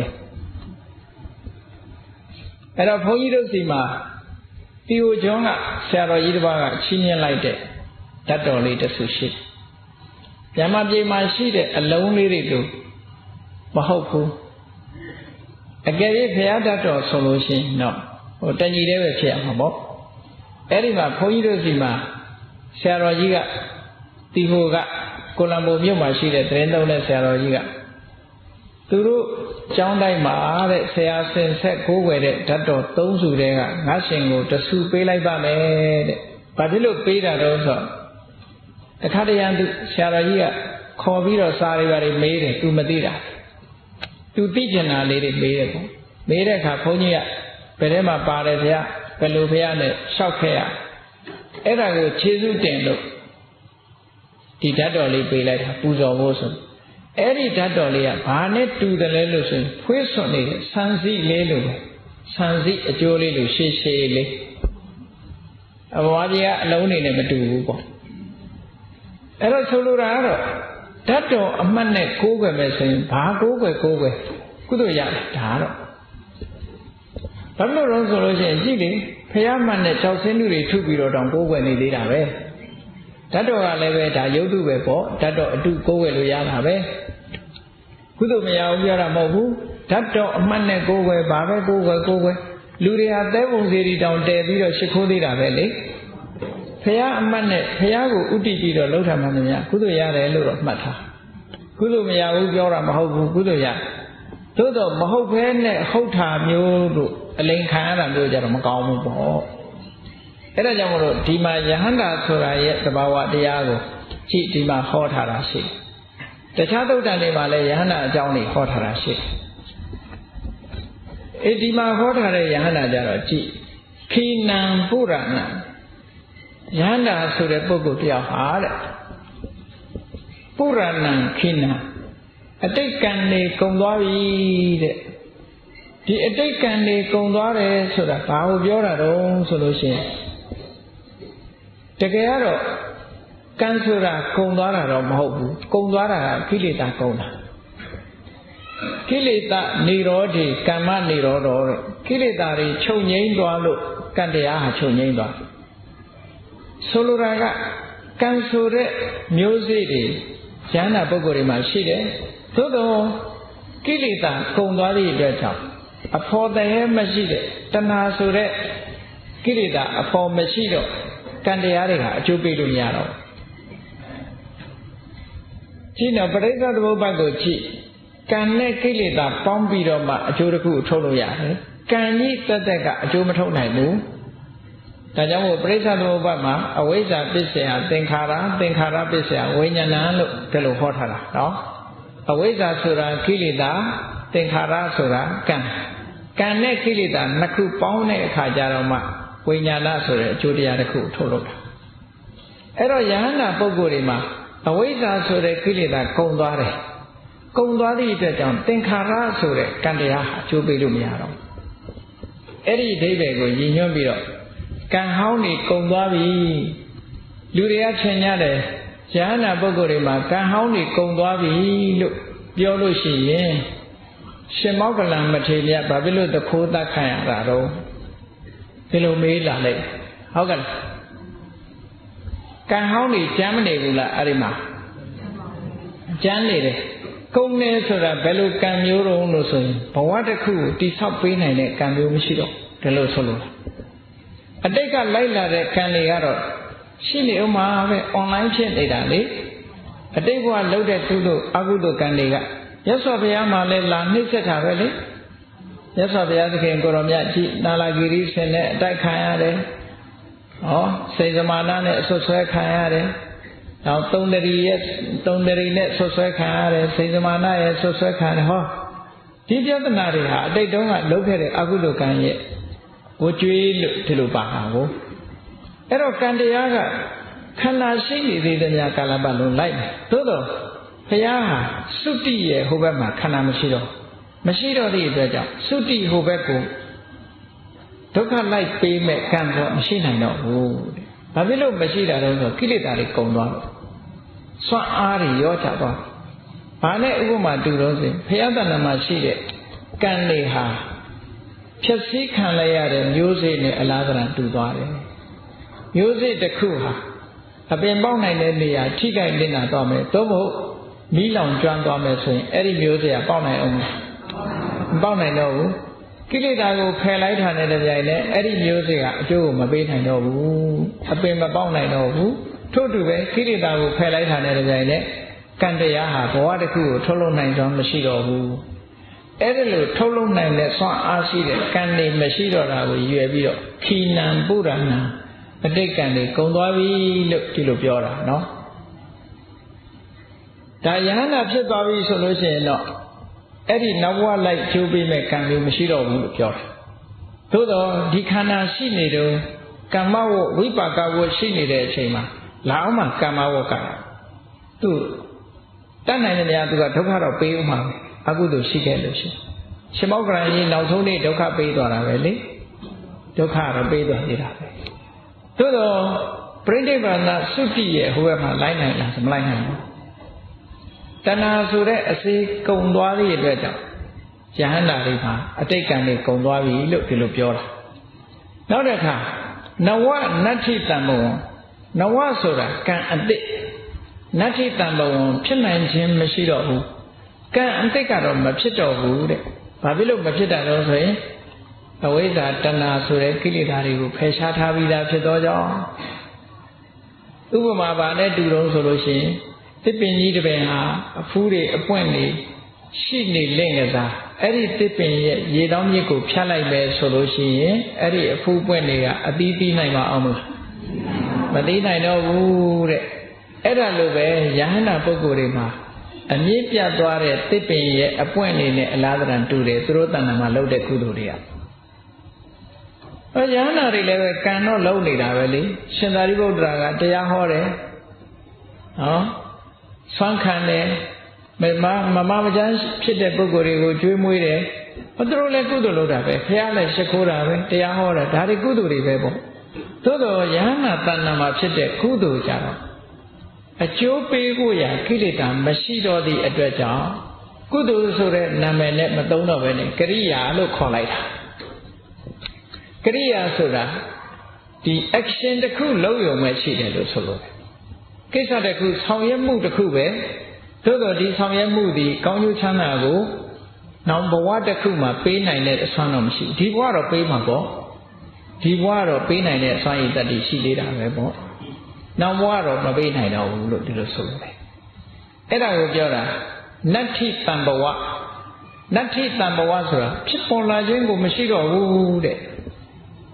လောက်တာတော့ကံတရားတွေလောက်တာပဲတရားဟောတယ်ဒါဓမ္မဒေသနာကုသိုလ်ပဲပေါ့ဘုရားကိုရှိခိုးတယ်နော်ဝေယဝိဇ္ဇတွေလောက်တယ်ဒါတွေကကံတရားတွေပဲ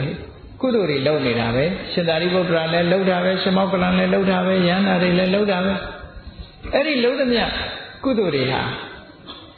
အကျိုးမပေးနိုင်တော့တဲ့အတွက်ကြောင့်ကရိယာပြုလုပ်ယုံတတ်တတ်မြတာဆောင်ရွက်လောက်ကင်ခြင်းမျှတာဖြစ်တယ်လို့ဒီလိုပြောတာနော်အဲ့ဒီနှစ်ခုအဓိပ္ပာယ်ကိုရှင်းပြီးတော့ခီနံပုရဏံနဝနတိတမဝံဖြစ်လာတာလည်းပဲအသက်မလာတော့ဘူးတဲ့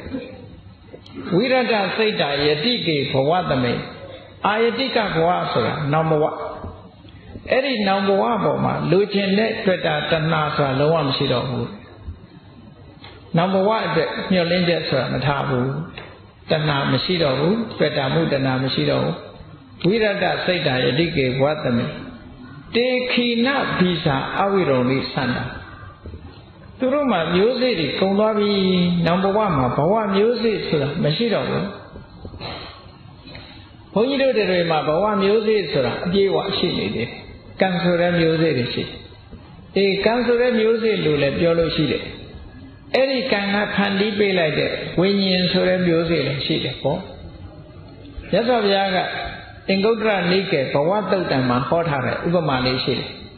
ကမ္မံခိတ္တံဝိညာဏံဘီဇံတဏှာတတိဟောလို့ဥပမာပေးထားဘဝတစ်ခုကိုသွားပြီဆိုလို့ရှိရင် အဲ့ဒီဘဝဘဝပေါ်မှာပရိတရီဆိုတဲ့မျိုးစိတ်လေးကြတာဟာဘယ်မှာကြတော့ဆိုကံပေါ်မှာကြတယ်ဘာဖြစ်လို့အဲ့ဒီမှာကံရဲ့စွမ်းအားနဲ့ပရိတရီမျိုးစိတ်ကြရတာဖြစ်တော့ကြောင့်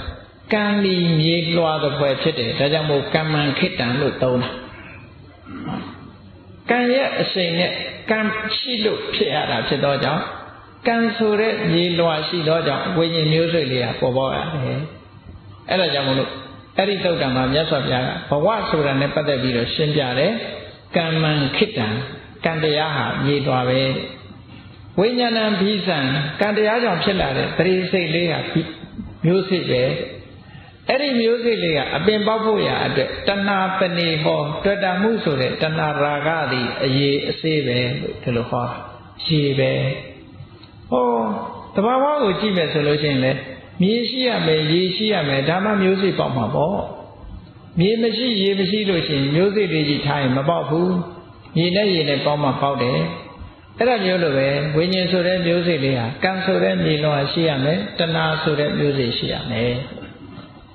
ကံနဲ့ကိလေသာနှစ်ခုပေါင်းပြီးတော့ထုတ်လုပ်တယ်ဆိုတဲ့အတိပ္ပယ်ကိုပြောတာပဲဒါလည်းအေးအခုကြတော့ဉာဏ်နဲ့ဖြစ်သွားပြီဆိုရင် ခိနဗီဇာမျိုးစိတ်တွေမရှိတော့ကုန်သွားနောက်ထပ်ပေါက်เสียမရှိတော့သူ့ဘဝအဝိရုံတိသန္တာဖြစ်တဲ့ဆန္ဒတွေကလည်းပဲကုန်ခန်းသွားပြီတဲ့ယန္တာဘဝဟာဘဝတစ်ခုရထားတဲ့ဘဝတစ်ခုအဆုံးသတ်သွားတာနဲ့တပြိုင်နက်ဘယ်ရောက်သွားတယ်လို့ပြောလို့မရဘူး နိဗ္ဗာန်တိဒီတာငြိမ့်သွားတယ်လို့ပဲပြောရမယ်ဘယ်လိုပြောမလို့ဥပမာပါတော့ဆိုဖျောင်းနိုင်လေးလေးစီမီကလေးငြိမ့်သွားတယ်လို့ပဲယထာယံပတိပောကဲစဉ်းစားကြည့်စီမီလေးတစ်ခုထွန်းထားတယ်ထွန်းထားတဲ့အချိန်မှာစီလဲကုံသွားတယ်မိစာလဲကုံသွားတယ်ဆိုဒီမိလေးငြိမ့်သွားအထောက်ပံ့အကြောင်းတရားတွေကုံလို့ငြိမ့်သွားဒါဖြင့်ဒီမိလေးပဲရောက်သွားတော့လို့ပြောလို့ရမယ် မရဘူးဟောငြိမ့်သွားတာလို့ပဲပြောရမှာပဲအာဒီမီးလေးကငြိမ့်ပြီဘယ်နေရာမှာသွားပုံနေတယ်လို့ဒီလိုပြောလို့လည်းမရဘူးနောက်ထပ်ဘယ်နေရာမှာပြန်ပေါ်လာမယ်လို့ပြောလို့လည်းမရဘူးငြိမ့်သွားတာဟာငြိမ့်သွားတာလို့ပဲပြောရအဲ့တော့ယန္တာပုဂ္ဂိုလ်တွေဟာလည်းပဲဒီလိုပဲအကြောင်းတရားတွေကုံသွားသည့်အတွက်ကြောင့်သူတို့ဘဝတစ်ခုယုံနံခန္ဓာတွေငြိမ့်သွားတာနိဗ္ဗာန်တိတည်တာယထာယံဒီဘောဘယ်ရောက်သွားတယ်လို့ပြောလို့မရဘူး အဲ့ဒီငြိမ့်သွားတာကိုပဲအယစကားအနေနဲ့ပြောတာနိဗ္ဗာန်စံဝင်သွားတယ်ဆိုတော့နိဗ္ဗာန်ဟာဘုံမိမ္မာန်ကြီးလိုလိုဘာလိုလိုတွေးကြထင်ကြတယ်ဒါတင်စားပြောတဲ့စကား metaphorical term လို့ခေါ်တယ်တင်စားပြောမှတချို့ကလည်းနားနေတာဟုတ်တင်စားပြောမှနားလေတယ်လို့ပဲတစ်ခါတစ်ခါကျတော့တင်စားပြောတာကိုအဟုတ်မှတ်လို့ရှိရင်လည်းပဲဘုံမိမ္မာန်ကြီးတစ်ဖွဲ့သွားထင်တတ်သေးတယ်အဲ့ဒါယန္နာပုဂ္ဂိုလ်ဆိုတာ အဲ့ဒါလိုဟာမျိုးအခုဒီကထာမှာပြထားတဲ့အတိုင်းဒီဝတ္သုံးပါးဆိုတာအလုံးသိကြတယ်ဝတ္သုံးပါးမှာကမ္မဝကိလေသာဝဝိပါကဝအဲ့ဒီဝတ္သုံးပါးထဲမှာကြည့်ဝတ်တစ်ခုစီကိုဖြုတ်သွားပုံကြည့်အကျဉ်းချုပ်ပြောမယ်ဆိုလို့ရှိရင်ကိလေသာဝတ်ဆိုတာလိုချင်တာကိုပြောကာမဝတ်ဆိုတာလိုချင်တော့လုပ်တယ် လူတွေကလေလိုချင်တယ်လိုချင်ရင်မလုပ်တယ်ရအောင်လုပ်တယ်ရအောင်လုပ်တော့ရတယ်ဟောလိုချင်တာကကိလေသာဝတ်ရအောင်လုပ်တာကကာမဝတ်ရတာကဝိပါကဝတ်ဟောဘုန်းကြီးတို့တွေဟာရဒီတိုင်းရှိနေတယ်ရလာတဲ့အခါရက်သွားလာလို့ဆိုမရဘူးရသွားလို့ရှိရင်လူချင်းပြန်တယ်လှုပ်ပြန်တယ်ရပြန်တယ်ဟောဝုတ်လေတယ်ဆိုတာအဲ့ဒါပြောတာနော် လူတွေကဝုတ်လေတာဆိုတာမသိဘူးသူများမဟုတ်တာလို့ကိုယ်ခံရတာဒါပဲဝုတ်လေတယ်ပြောနေတာဝုတ်လေတယ်ဆိုတာဒါပြောတာကိရိတာရှိရင်ကာမဝတ်လာလိမ့်မယ်ကာမဝတ်ရှိလို့ရှိရင်ဝိပါကဝတ်လာလိမ့်မယ်ဒါလည်းပတ်နေတာကိုပြောတာနော်ကဲကောင်းပြီအဲ့ဒီလေပတ်နေတဲ့ဝတ်တွေကသုံးခုရှိတဲ့ထဲမှာကိလေသာဝတ်ကာမဝတ်ဝိပါကဝတ်ဆိုတဲ့သုံးမျိုးရှိတဲ့ထဲမှာယ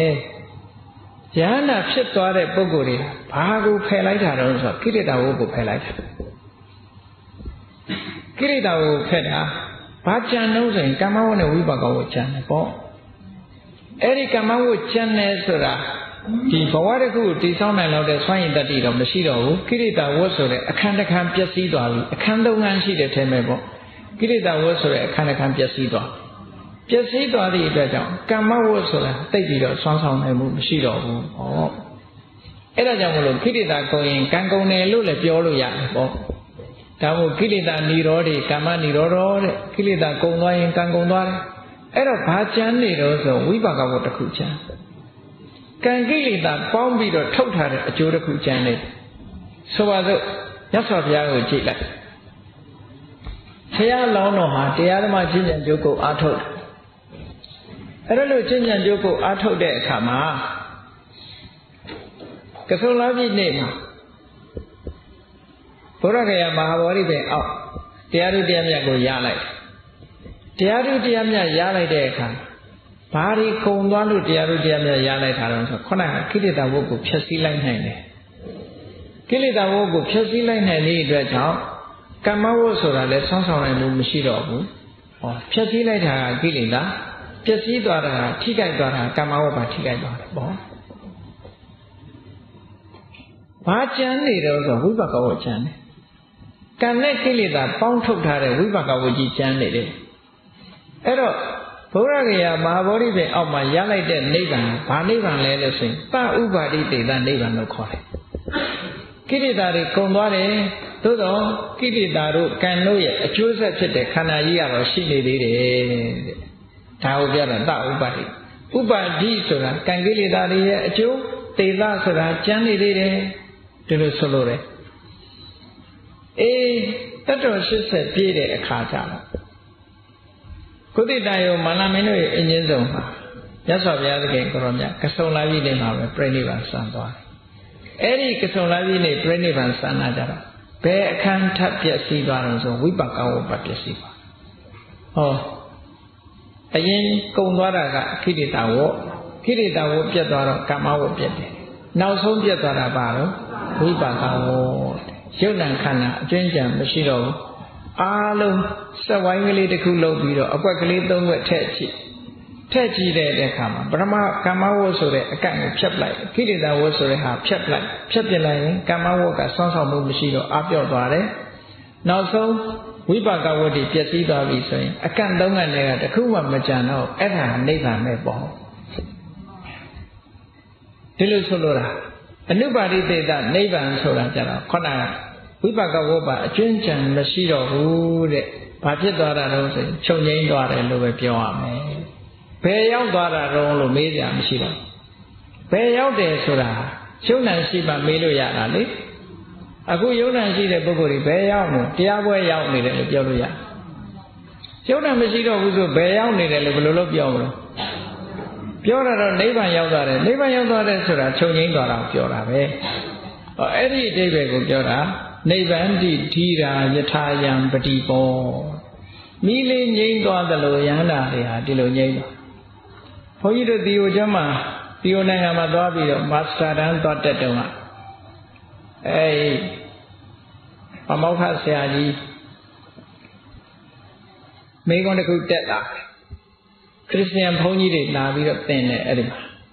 ဘုရားဘာသာတရားကိုလာသင်ကြပါစတာတမ်းမှလာတက်ခရစ်ယာန်ဘုန်းကြီးတစ်ပါးမေးတယ်ဘုရားဘာသာယဟန္တာတွေတဲ့ပြိဋိဘံစံတော်ဘယ်ရောက်သွားတော့ဆိုတော့အဲ့ဒီဆရာကြီးကစဉ်းစားပြီးတော့သူပြောတယ်လျှောက်ပြီးတော့ပြောတော့ ဘုန်းကြီးကလှမ်းပြီးတော့ထောက်ပြလိုက်တယ်ဒကာကြီးနိဗ္ဗန္တိဓိတာယထာယံပရိပောတရားလေးရှိတယ်လို့ဆိုတာကိုပြောလိုက်တဲ့အခါကျတော့သူသိပြီးတော့ကြည့် reverend ကပြောနေတယ်တဲ့နိဗ္ဗန္တိဓိတာယထာယံပရိပောအဲ့ဒီတိုင်းပဲမှတ်ရမယ်ပေါ့ဆိုပြီးတော့သူဖြေခဲ့တယ်ဒီမေကုံးလေးကိုယဟန္တာဘယ်ရောက်သွားသလဲဆိုမေကုံးဟောအဲ့တော့ဘယ်ရောက်သွားသလဲဆိုတာပြောစရာမရှိဘူးခုနကပြောမယ်ဆိုရင်ခုနငိမ့်တော်တဲ့မီးလေးပဲရောက်သွားတော့ဆိုဘယ်လိုပြော ငိမ့်တော်တဲ့လို့ပဲပြောလို့ရတယ်ဘယ်ရောက်သွားတယ်လို့ပြောလို့ရမလားမရဘူးဒေသနဲ့ပြောလို့မရတော့ဘူးဟုတ်ကဲ့လားရှိမှမရှိတဲ့ဟာကိုအေးအဲ့ဒါကြောင့်မလို့ဉာဏ်နာပုဂ္ဂိုလ်ဆိုတာအဲ့ဒါမျိုးကိုဆိုလိုတယ်တရားသုတ်တန်လေးမှာဉာဏ်နာပုဂ္ဂိုလ်အကြောင်းကိုဘလို့ရှင်းပြီးတော့ဟောထားတာရှိတယ်လို့ဆိုလို့ရှိရင်ဉာဏ်နာဆိုတာအရဟကိရိတာတွေမရှိတော့ဘူး လောဘမဖြစ်တော့ဘူးဒေါသမဖြစ်တော့ဘူးမောဟတွေမဖြစ်တော့ဘူးမာမနာတွေမဖြစ်တော့ဘူးကိလေသာတွေကဝေးသွားတဲ့ပုဂ္ဂိုလ်ယဟန္တာဒီထဲမှာဓာတ်တော်ကြတယ်ဆိုမပါဘူးနော်တတိထားနောက်တစ်ခုကခိနာတဝအာတဝတရားတွေကုံသွားတယ်အာတဝဆိုတာကာမတဝဒိဋ္ဌာတဝအဝိဇ္ဇာတဝတဏှာရဲ့ဒိဋ္ဌိရဲ့မောဟရဲ့ဟောဒါတွေဟာမရှိတော့ဘူးလို့ဒီလိုဆိုလိုတာ ဟောဝုတိတဝါမဂ္ဂရှိပါကျင့်တရားကိုပြည့်ပြည့်ဝဝကျင့်ပြီးပြီကတကရဏီယောလှုပ်ရှားတွေလှုပ်ပြီးသွားပြီလှုပ်ရှားတွေမကြံတော့ဘုန်းကြီးတို့တွေကလှုပ်ရှားကဘယ်တော့မှမကုန်ဘူးရတ္တမေရတ္တဖို့မရမချင်းဟာလှုပ်ရှားရှိနေတာကြည့်ပဲဘယ်သူမှပြည့်ပြည့်စုံပြီလို့ပြောလို့မရနော် အလုတ်ကရှိနေသေးတာဟောယန္တာပုဂ္ဂိုလ်ကြတော့ကတကရဏီယလှုပ်ရှားလေးကုန်ပြီးပြီလှုပ်ပြီးသွားပြီလို့ဒီလိုပြောလို့ရတယ်နောက်တစ်ခုကဩဟိတဘာရခန္ဓာဆိုတာဝန်တော့ဝန်ပိုးကြီးပဲလေမနဲ့လင်းကြတဲ့သူတောင်ဝန်ထားနေရတာလူတိုင်းလူတိုင်းခန္ဓာဆိုတာဝန်တော့ဝန်ပိုးကြီးပဲကိုယ့်အတွက်လုံနေလို့ဘာမှဝန်တော့ဝန်ပိုးမထင်ကြတာတကယ်ကတော့တကယ်ဝန်တော့ဝန်ပိုးကြီးပဲ အဲ့ဒီဝန်တော့ဝန်မိုးကြီးကိုချလိုက်ပြီးဒီတကားကိုယူပြီးတော့ခန္ဓာဝန်ချတယ်ခန္ဓာဝန်ချတယ်ဆိုအတုံးကိုသုံးနေကြတယ်နော်အဲ့တော့ခန္ဓာဝန်ချတယ်လို့ပြောတာယဟန္တာမှာသုံးနေတဲ့စကားလုံးတစ်ခုပဲအပြည့်ချတာမှခန္ဓာဝန်ချတယ်လို့ပြောတယ်ပြန်ယူအောင်မှဆိုလို့ရှိရင်တော့ဒါအပြည့်ချတာမဟုတ်ဘူးတဘဝသေဆုံးတာလောက်ပဲရှိသေးတယ်ဟုတ်ကဲ့လားဘသူကပြန်ပြန်ယူတော့ဆိုရင်တဏှာကပြန်ပြန်ယူတာဘဝကိုတွေ့တာရတဲ့တဏှာကခန္ဓာအတိတ်ကိုပြန်ယူသွား ကံနဲ့ပေါင်းပြီးတော့ပြန်ယူသွားတာခန္ဓာဝန်ချတယ်ဆိုတာကယန္တာဖြစ်သွားပြီဆိုမှခန္ဓာဝန်ချတာအပြည့်ချလိုက်တော့တာနောက်ထပ်ဘယ်တော့မှကောက်မယူတော့ဘူးဒီဟာကြီးဒီလိုဆိုလို့တယ်ဩဟိတဘာရောတဲ့ပါဠိလိုနောက်တစ်ခုအနုပ္ပတ္တတရထောကိုယ့်ရဲ့အကျိုးစီးပွားကိုရရှိပြီးသားဖြစ်တယ် တကယ်လူတွေကကိုအကျိုးကိုအကျိုးလို့ထင်နေတာကိုအကျိုးဘယ်သူမှမရှိကြဘူးရဟန္တာဖြစ်မှတကယ်ကိုအကျိုးဆိုတာပြည့်ပြည့်ဝရှိကိုအကျိုးဟာဘယ်တော့မှဖြည်းဖြည်းစုံစုံမရနိုင်သေးဘူးတဲ့နောက်တစ်ခုကတော့ပြိခိဏဘဝတန်ရောစနောကုံကြီးသောဘဝပေါ်မှာတွေ့တာတဲ့တန်ရောစဉ်ဘဝပေါ်မှာတွေ့တာတဲ့တန်ရောစဉ်တွေအလုံးကုံသွားပြီတဲ့ကုံသွားတဲ့ပုဂ္ဂိုလ်ဘဝတန်ရောစဉ်တွေအလုံးကုံသွားတဲ့ပုဂ္ဂိုလ်ဖြစ်ရတယ် သမ္မတညာဝိမု ക്ത အမှန်ကန်သိပြီးတော့အတွေ့အတာတွေကနေပြီးတော့လွတ်မြောက်သွားတဲ့ပုဂ္ဂိုလ်ဖြစ်ရမယ်အဲ့ဒါမှယဟန္တာလို့ပြောတာနော်ယဟန္တာဆိုတာအဲ့ဒီလိုအည်သွေးတွေရှိရမယ်လို့ပြောတာအဲ့တော့ဟိုယဟန္တာတွေပေါ်တာတော့ကောင်းပါမမကန်ကန်ယဟန္တာတော့ကောင်းတာပေါ့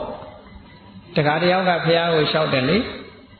တခါတယောက်ကဘုရားကိုလျှောက်တယ်အရှင်ဘုရားတဲ့ တပည့်တော်နေ့စဉ်နဲ့အမြအလှူဒန်းနေလုပ်တယ်အိမ်မှာဆောင်းမြဲကတ်တပည့်တော်စီကြွားတဲ့ကိုတော်တွေကယဟန္တာတွေကြီးပဲတဲ့ဆိုတော့မြတ်စွာဘုရားဗာမင်းရှိလို့တကားတဲ့သင်လူလူဝကြောင့်တယောက်အနေနဲ့ဒီပုဂ္ဂိုလ်ဟာယဟန္တာဒီပုဂ္ဂိုလ်ဟာယဟန္တာမဟုတ်ဘူးလို့သိဖို့ခက်ပါတယ်တဲ့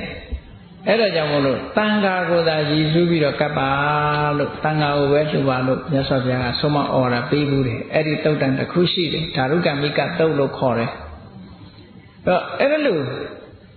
လောကမှာဒီယဟန္တာယဟန္တာဆိုတာဟာဒီလိုအည်သွေးတွေရှိရမယ်ဆိုတာသိထားဖို့လိုအပ်တယ်ပေါ့အဲ့ဒါမှယဟန္တာအစစ်အမှန်ကိုလည်းပဲကြီးညိုနိုင်တယ်ယဟန္တာအစစ်အမှန်မဟုတ်ရင်လည်းပဲကိုကသိတယ်အစစ်မှန်မဟုတ်ကြောင်းကိုသိနိုင်တယ်ပေါ့ဒီလိုအည်သွေးရှိမှယဟန္တာဆိုတာကိုထင်ထင်ရှားရှားသိရဟော ကြည်ယရဏတုတ်မှာယဟန္တာနဲ့ပတ်သက်ပြီးတော့အခုခိနံပုရဏံနဝနထိတံမောဝိရတစိတ်တယတိကေဝသမိတေခိနဗိဇာအဝိရုံလိသန္တာနိဗ္ဗတိဒိရာယထာယံပရိပောဣဒံပိတံဂေရတနံပဏိတံတံဃာလို့ဆိုတဲ့ထဲမှာဟောဒီကိလေသာအသောကုံမိသားဖြစ်တဲ့တန်ခါဟာရဲ့နှစ်သက်စရာကောင်းတဲ့ဒီအကြီးချင်းတွေပေါ့အခုလို့ ကိလေသာတွေကုံသွားလို့ဘဝမျိုးစေ့တွေပြတ်သွားတာဟာအလွန်နှစ်သက်စရာကောင်းတဲ့အကြီးချင်းတစ်ခုပဲပေါ့အဲ့ဒီအကြီးချင်းဟာမွန်မြတ်တဲ့ကျရဏတစ်မျိုးပဲဖြစ်ပါတယ်ဒီမှန်ကန်သောစကားကိုဆိုရသောကြောင့်တတ္တဝါတွေချမ်းသာကြပါစေလို့ဒီလိုဆိုလိုတာနော်သစ္စာအဲ့လိုသစ္စာဆိုလိုက်တဲ့အခါကျတော့တတ္တဝါတွေဟာဝေဒာလီပြည်ကလူတွေဟာကျမ်းမှချမ်းသာသွားကြတယ်မြတ်စွာဘုရားကဒီတရားကို9ရက်တိတိဟောတယ် ဒီခါထာလေးအဆုံးမှာမြတ်စွာဘုရားတရားနာလို့ဒီလူရောနာရောပေါ့အားလုံးပေါင်းလိုက်တဲ့အခါကျတော့နော်တတ္တဝါတွေဟာအများကြီးကျွတ်တန်းဝင်သွားကြတယ်ပေါ့အများကြီးကျွတ်တန်းဝင်သွားကြတယ်အဲ့ဒီလိုကျွတ်တန်းဝင်သွားတဲ့ပရိသတ်ထဲမှာအဲ့ဒီတော့ကပါဝင်တက်ရောက်ကျွတ်တန်းဝင်ကြတဲ့ဒီလူတွေနတ်တွေကျွတ်တန်းဝင်သွားကြတယ်ပေါ့အဲ့ဒီတော့က တက်ရောက်တဲ့ပရိသတ်ထဲမှာလည်းပဲတရားမင်းကြီးကိုယ်တိုင်ပါတယ်တရားမင်းကြီးကိုယ်တိုင်ပါတော့သူကိုယ်တိုင်ကနေပြီးတော့သစ္စာဆိုတဲ့အနေနဲ့ထပ်ပိုးပြီးတော့နောက်ထပ်ခါထာလေးသုံးဖို့ကိုသူကပြောအဲ့ဒီခါထာလေးသုံးဖို့ကနော်ဇာနိဒဗုဒ္ဓလေးသမဂတာနိဘုံမာနိဝါယာနိဝအန္တလိတ်တထာဂတံဒေဝမနုဿပုစိတံဗုဒ္ဓံနမတ္တမသောတိဟောတုဓမ္မံနမတ္တမသောတိဟောတုတန်ဃံနမတ္တမသောတိဟောတုဆို ကြောတဲ့ခါထာလေးကိုဆိုပြီးတော့သစ္စာပြုသွားတယ်ဒါကတရားမင်းဆိုတဲ့ခါထာ၃ပုံလို့ဒီလိုမှတ်ရဟောပေါင်းလိုက်တဲ့အခါကျတော့ဒါယရဏတုံမှာခါထာပုံပေါင်း၁၈ပုံဏိဒံအချီဏိဒံခါထာမပါဘူးအဲ့တော့ယရဏတုတ်ကိုရွတ်ဖတ်တရစေကြတော့မယ်အတိတ်ပဲကိုနားလည်ပြီးတော့ရွတ်ဖတ်တရစေကြတော့မယ်ဆိုလို့ရှိရင်မြတ်စွာဘုရားရဲ့ဂုဏ်တော်ကျေးဇူးတော်တွေကိုရှုစွာအာယုပြုပြီးတော့ဘုရားဂုဏ်တရားဂုဏ်တန်ခါဂုဏ်တွေကိုရွတ်ဆိုတာ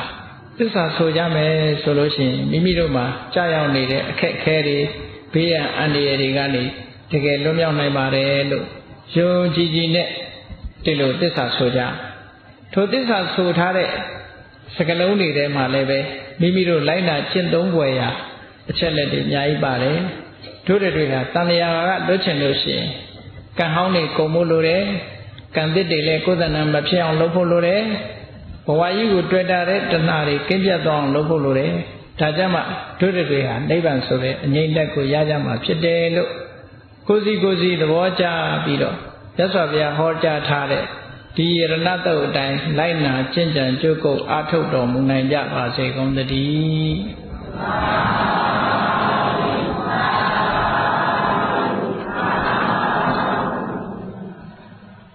ကဲမေတ္တာပို့ရအောင် တတဝါများစွာသေရန်กว่า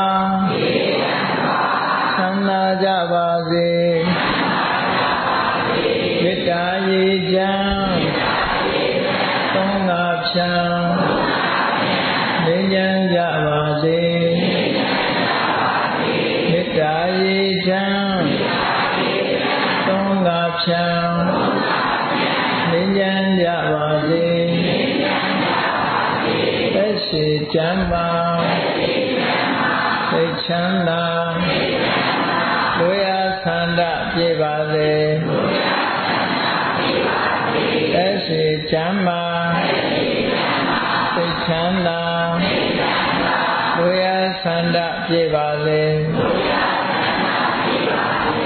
ဓမ္မောတရံပိဝိတဝါနဝိသာတပိတမုဟတအာသရမရာတိတိဘာဝံနိဗ္ဗာနံယန္တုတာရောဓမ္မောတရံလောဘဒေါသမောဟစိတ်တောင်းကင်းပြောင်းခြင်းတရားစေကိုဣဤဝိတဝဝန္တာရှင်ပြတောက်ကြရနာကြရကုန်သောကြောင့် ဝိတတပိပူဇာညစ်နောက်ကိလေသာအစေတောဟူသည်များတို့သည်သမုဒ္ဒပိကြပဲတွင်ရည်မတင်တဲ့ကဲ့သို့ကင်းစင်လွင်ပြောင်းပေမရအောင်ပယ်ဖြောင်းအပ်ကုန်သည်ဟောတုစစ်စစ်မသွေဖြစ်ကြပါစေကုန်သတည်းအစရမရံအိုခြင်းလဲကွာနာခြင်းလဲကင်းသေးခြင်းလဲရှင်းထသောတိရိဘဝကိလေသာဟုပုခသိင်ကင်းကြီးရာစိတ်ဖြစ်ပေထသော နိဗ္ဗာန်နိဗ္ဗာန်ဟုခေါ်အေးမြတော်တို့သာရောတရားချစ်ခင်စိတ်ကောင်းဝိညာဉ်သူတော်စင်များတို့သည်ယန္တုပါရမီအစဉ်စဉ်မြင့်လည်းမြင်၍မလင့်ပုံသေးဆက်ရောက်တော်မူကြပ